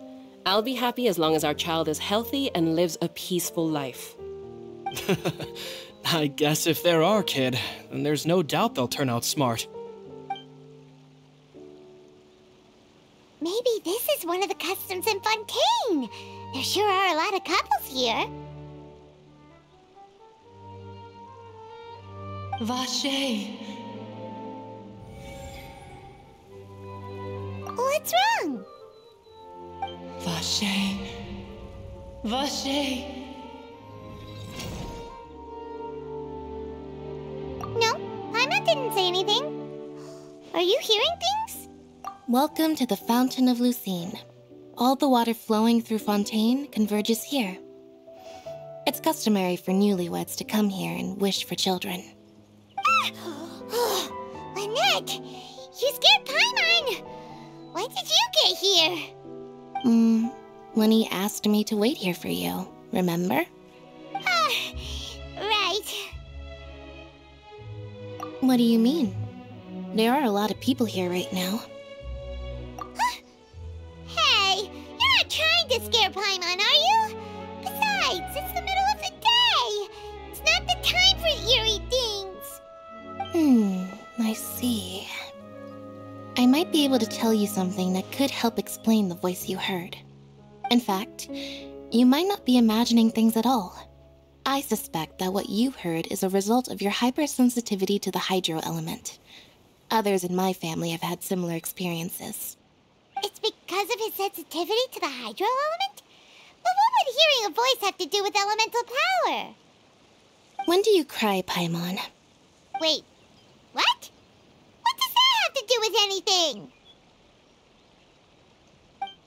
Just answer me. When do you cry? Uh, when Paimon's really sad? Oh, and when Paimon's super happy. Oh, and also when Paimon's really, really scared. Then you should understand that tears contain your most intense emotions. Like I just mentioned, the Fountain of Lucine is where all the flowing water in Fontaine converges. Even the tears that fall to the ground will eventually gather here. So maybe what you heard was the intense emotion coming from someone's tears. So, what did the voice say? Huh. If you were hearing their emotions, then Paimon wonders what happened to them. Rather than worrying about them, we should worry about my brother first. Don't let that calm look of his fool you. He tends to get pretty nervous just before a performance. So chatting with Lyney might help him relax a little before he goes on stage. Oh, right. That makes sense. Let's go in and see Lyney.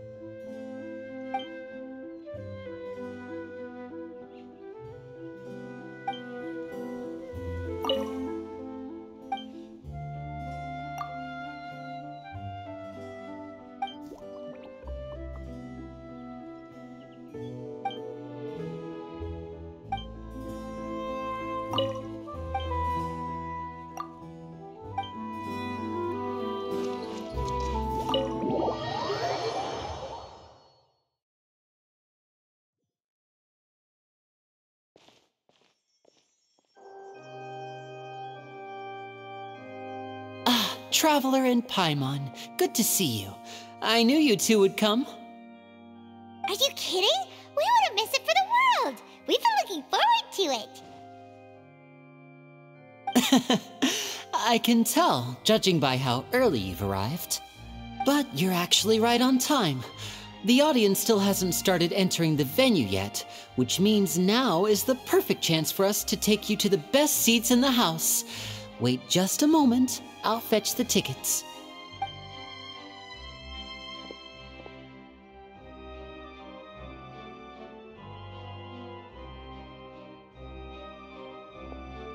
The Opera House has assigned seating, so you always have to make reservations. I've already reserved your seats, and here are your tickets. Ooh, front row seats. Thanks, Lyney. Don't mention it. There's no need to keep thanking me. Hey, Lyney! Could you come over here and take a look at this? Oh, I'll be right there. Seems there's an issue with the stage props over there. That's Cal, my assistant, calling me. I'll go lend him a hand. Yeah, we'll just go to our seats. You go ahead, Lyney.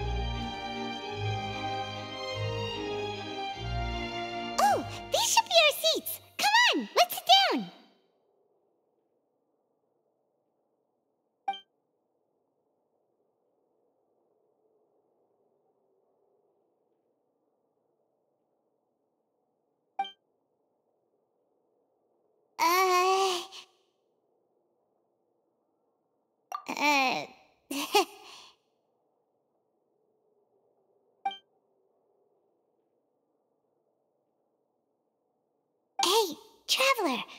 Maybe we should strike up a conversation with the person next to us. Since we're sitting together and the rest of the place is practically empty still, it's kinda awkward if we don't say anything. Ah, you little. Of course you put this on Paimon. Excuse me, I did not realize you felt awkward. I am terribly sorry. I would be perfectly happy to chat with you if that is what you would like. Oh, uh, so you heard all of that, did ya? Boy, you sure have good ears. Paimon thought she was keeping her voice down. Uh, wait, that's not it. Paimon's sorry. Um, Paimon's the one who was being rude, talking under her breath like that. Uh, so let's talk. But, uh, what should we talk about?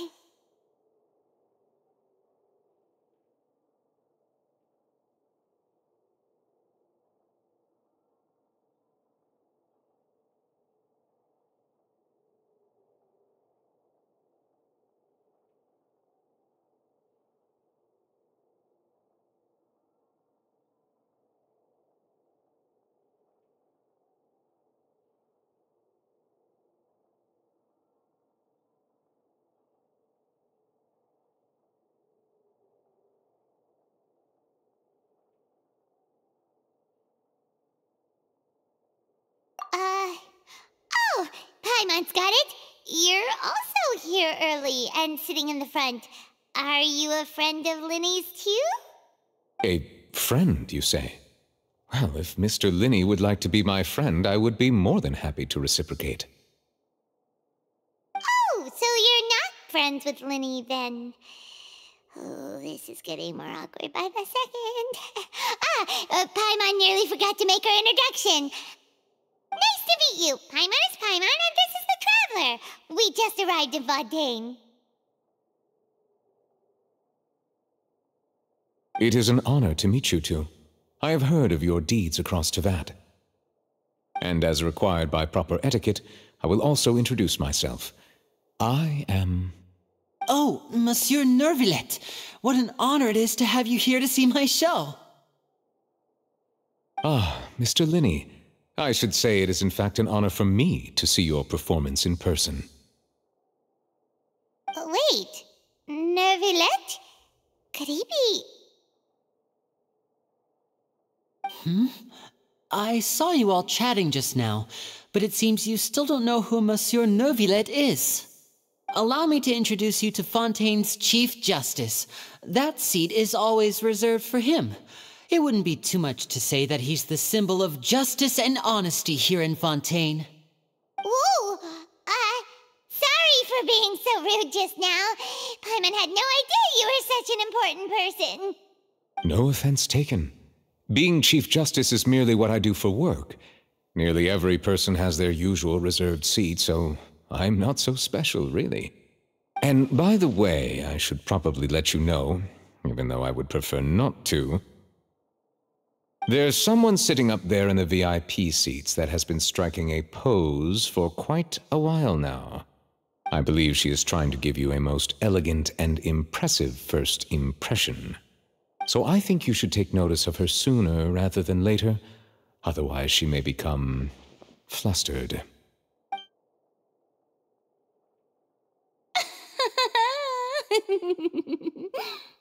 huh?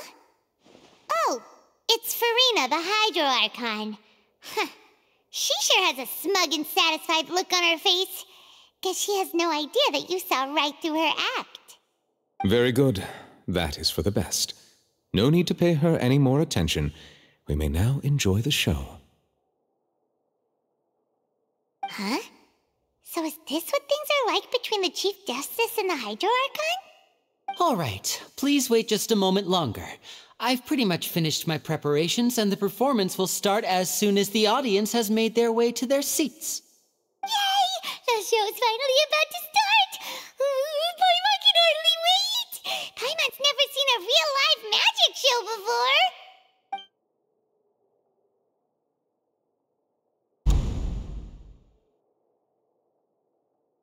Ooh, they're dimming the lights! The show must be starting!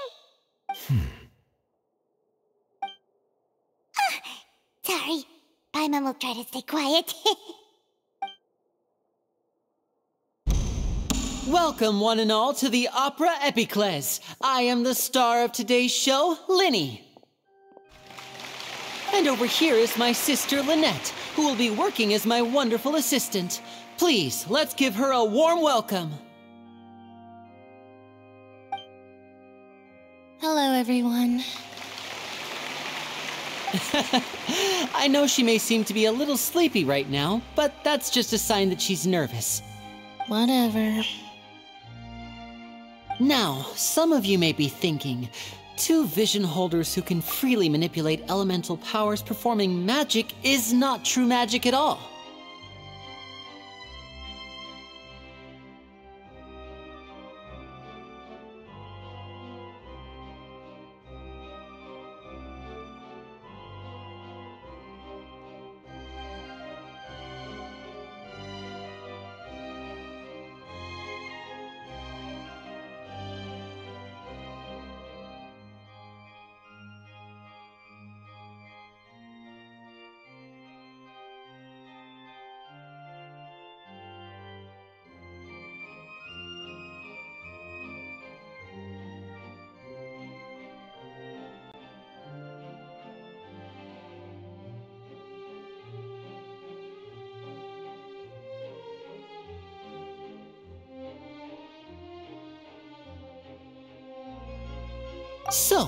I would like to take a moment to assure you that elemental powers will have nothing to do with what you will witness on the stage today.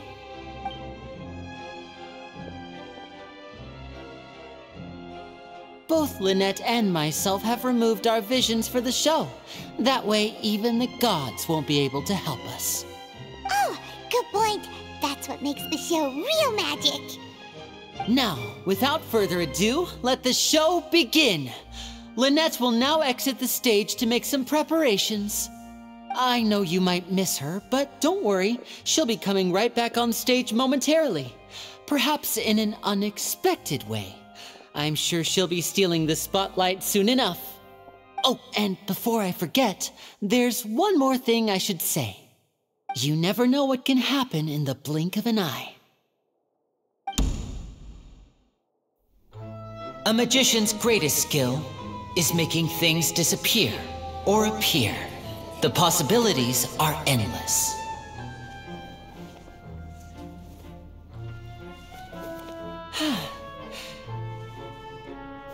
Hmm.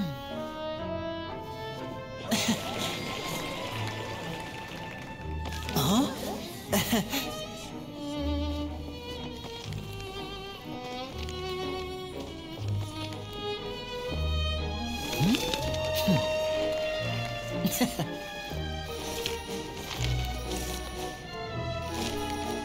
but this isn't what you came for.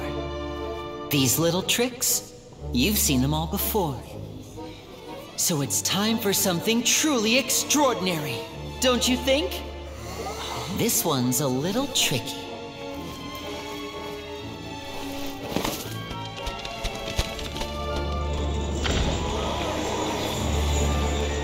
Using this water tank, I shall make my sister vanish completely, right before your very eyes.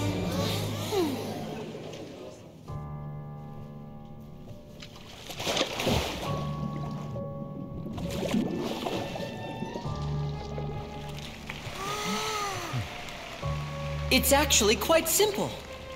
She'll just turn into air bubbles and float right out of the top.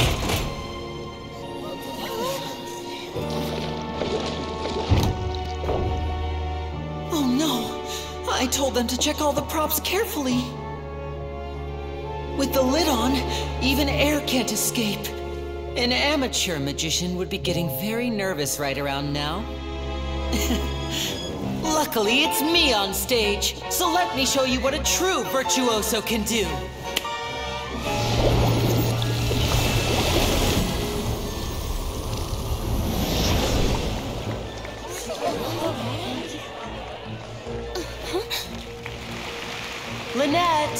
You still there?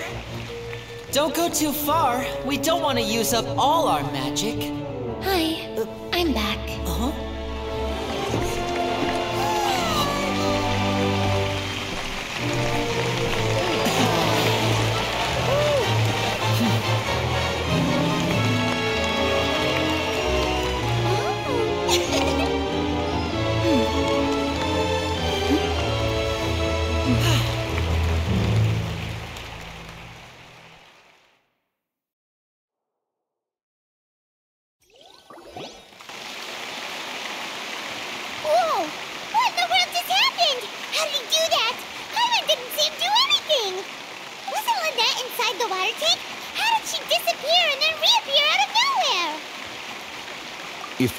Easily through his tricks, then that would mean that his skills are still lacking.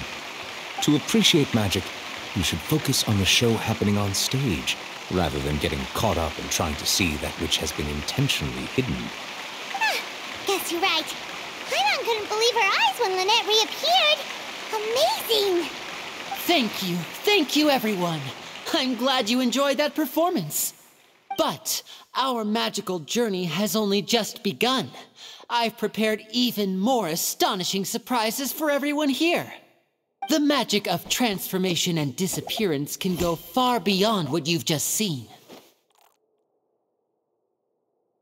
I'm sure many of you are thinking that escaping the water tank was impressive enough. But Lynette is still my assistant after all.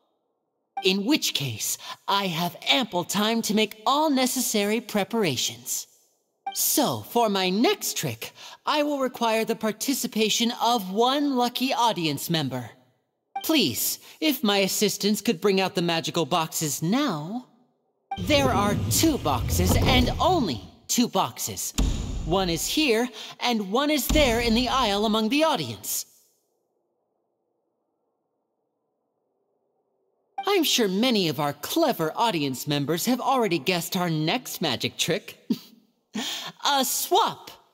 Our lucky audience member and I will each enter a magic box.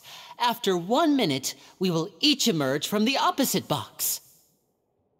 Now, please, everyone pay very close attention to the box you see here.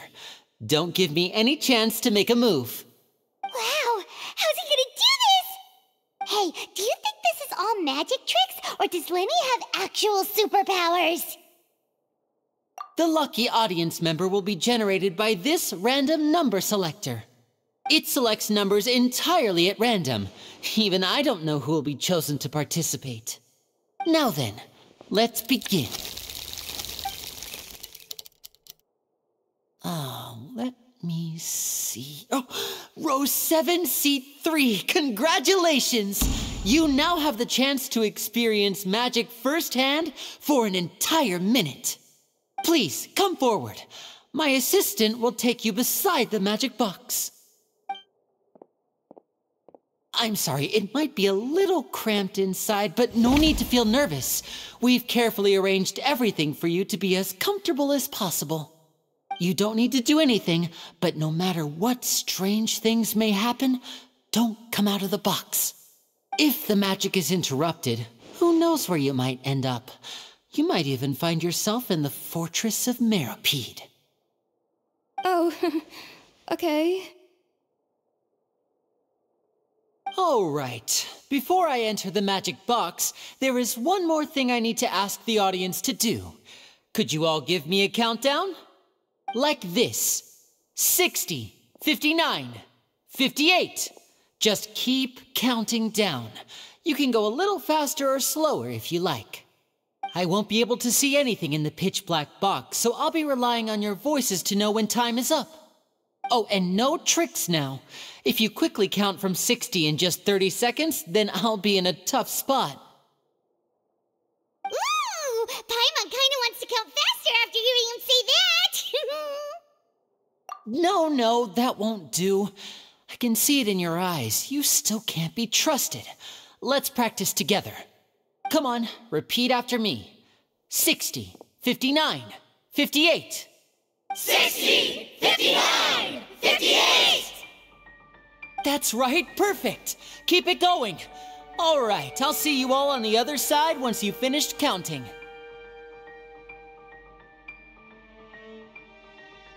Fifty-four, fifty-three, fifty-two? Huh?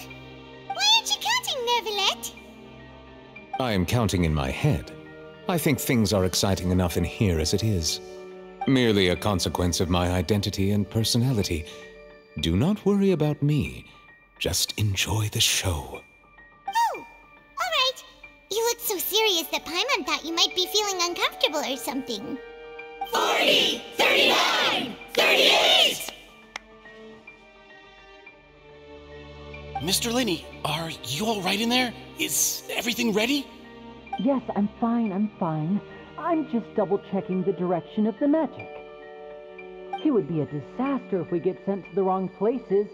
For example, midair right above the audience. Even though he's saying that, Lyney doesn't seem nervous at all.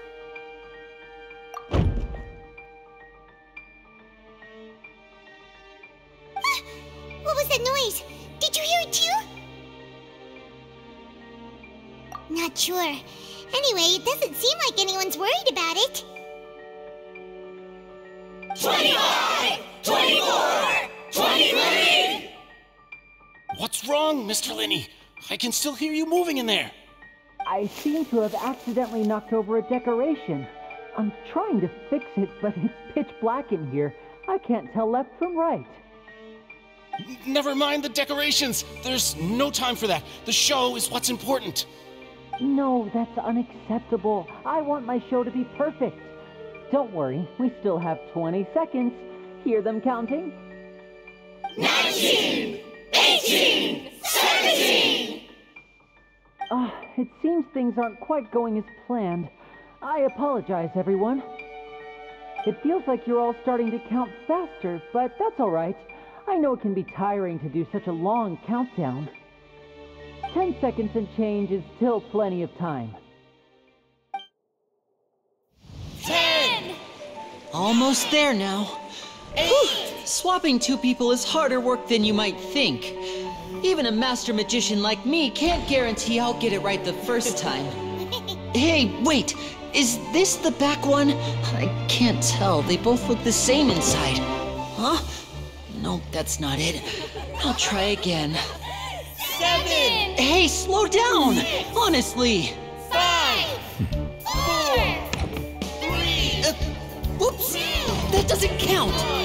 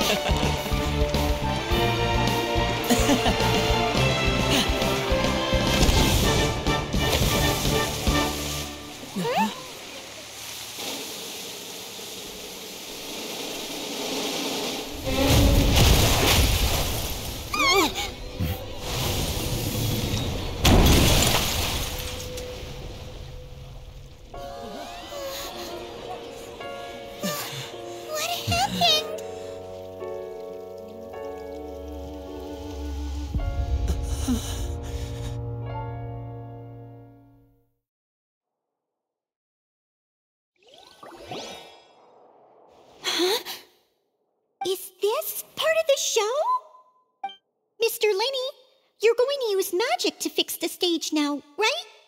What happened? Oh no. Maybe this isn't part of the show. The girl was still in that box, right? This performance is over. Medical staff with me. Guards, secure the scene and detain all the performers. Seal the exits. No one is allowed in or out at this time. Yes, that's right. If this was just an accident, then we must investigate the cause. But if this was all part of some scheme, then. then those accountable will not escape the judgment of the God of justice! No need to be alarmed, you two. We'll get to the bottom of this soon enough.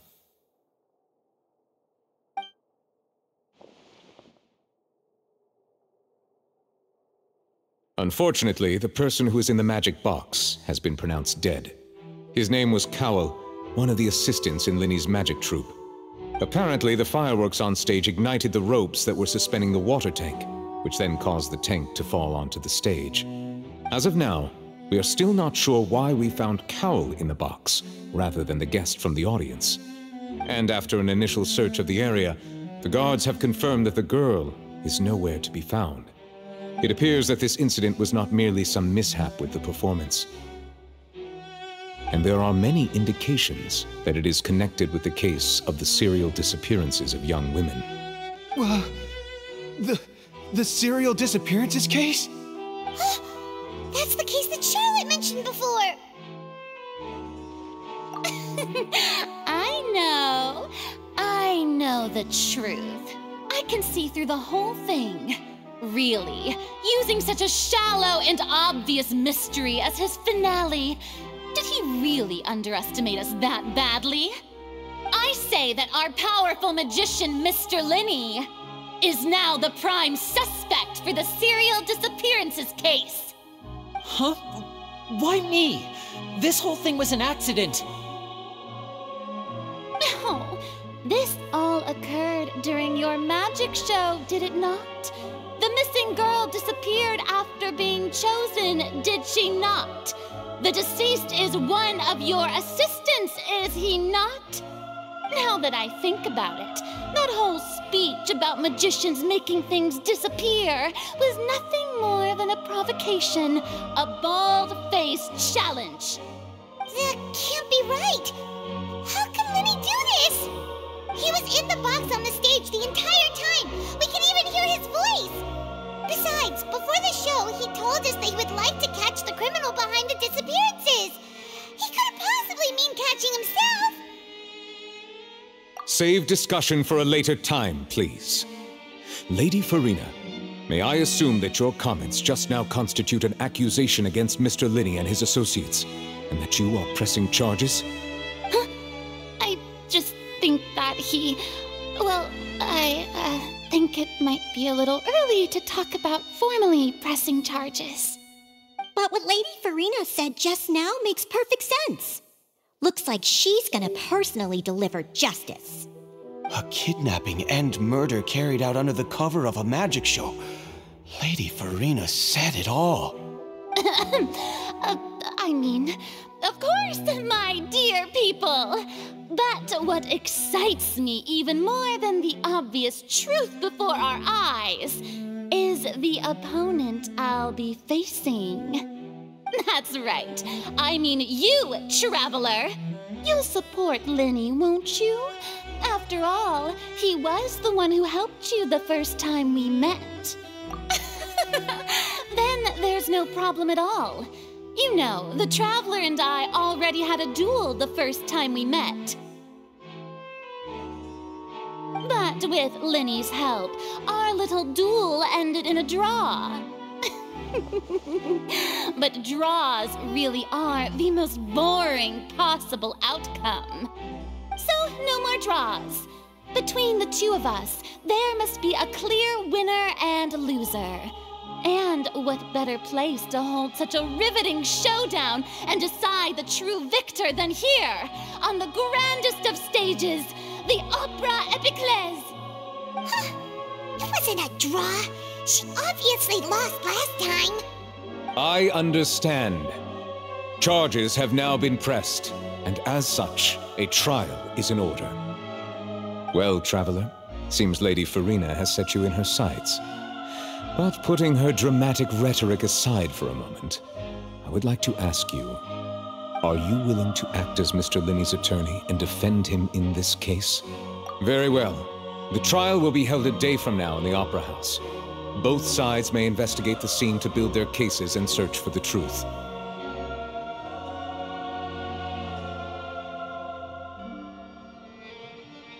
Linney and his troupe are all potential suspects and shall remain within the Opera House. The audience may begin to leave in an orderly fashion once they have been cleared by the guards. A day isn't that long. Let's see what kind of case this big shot Outlander can build in such a short amount of time. I'm really quite looking forward to hearing it.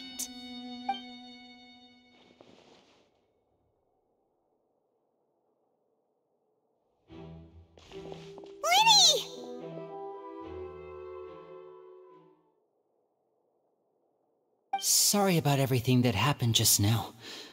Were you frightened? Of course! Who wouldn't be scared after witnessing an accident like that? Yeah, I'm a little shaken up myself.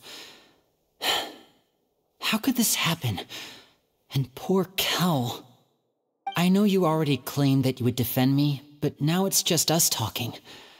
Tell me, do you think I could possibly be the murderer?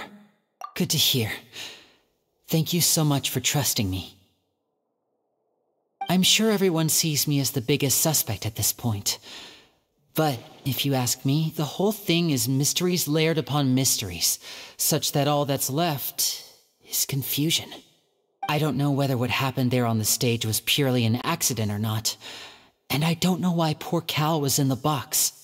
As for how that girl chosen from the audience could suddenly disappear, I'm afraid I don't have any answers either. If someone tampered with my performance, then we need to figure out what they did. Even a skilled and knowledgeable magician like myself couldn't pull all that off in just one minute. Which is precisely why we need to investigate! As this book says, the impossible could not have happened. Whatever happened must have been that which is possible. Paimon bought them when we were reading at the bookshop in the city earlier. Pretty cool, huh? Don't worry, Paimon used her own savings to buy them. It wasn't from our travel funds. I think they look cute on you, Paimon. You have good taste, Lynette. That's the right attitude. Feeling depressed isn't going to help me now. I need to get back to my normal self. But with the guards watching our every move, it's going to be especially difficult for Lynette and I to prove our own innocence. Good thing you agreed to be our attorneys. Thanks for that. We'll be counting on you. Yes, thank you so much. Yeah, just leave it to us. Oh, uh, since we're going to start investigating, Paimon has a question first. Where did Lynette go during the performance? Oh, well. I'm afraid that would involve some of our essential trade secrets as magicians. The secrets behind our magic are past saving, Lyney. I suppose you're right. The truth behind our tricks is going to be important evidence that will be weighted during the trial. Tis truly a pity. As a magician, our magic show is a work of art. We've poured countless hours and spared no effort in perfecting it. But if revealing our secrets will help you uncover the truth behind what happened, then it will be well worth it. We should go somewhere else if we're going to discuss our magic tricks. We'll go speak with the guards, and in the meantime, you can go investigate the stage and the seating areas. Alright, let's go have a look while the investigation teams are still here. Detective Paimon is on the case!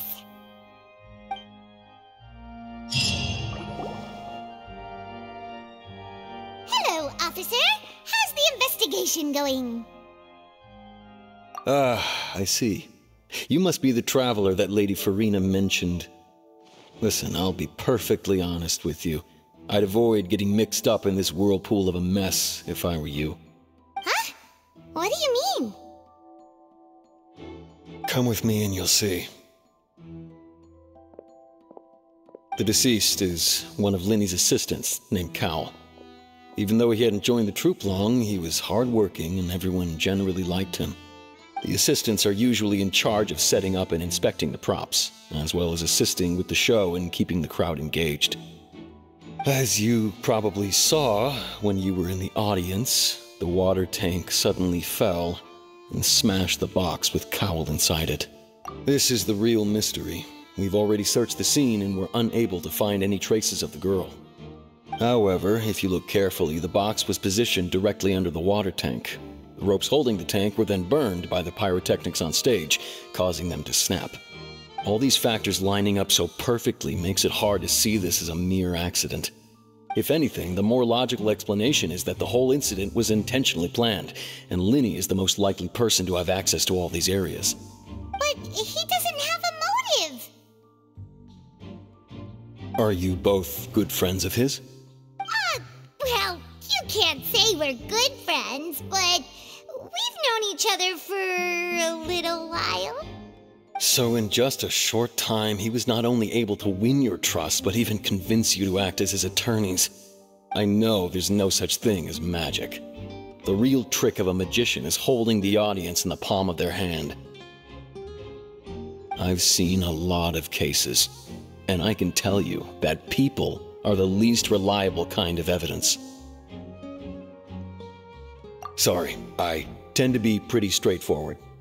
Just know that I'm warning you for your own good. Anyway, you may investigate the scene of the crime yourselves if you're curious. Who knows, maybe you'll be able to come up with some new evidence.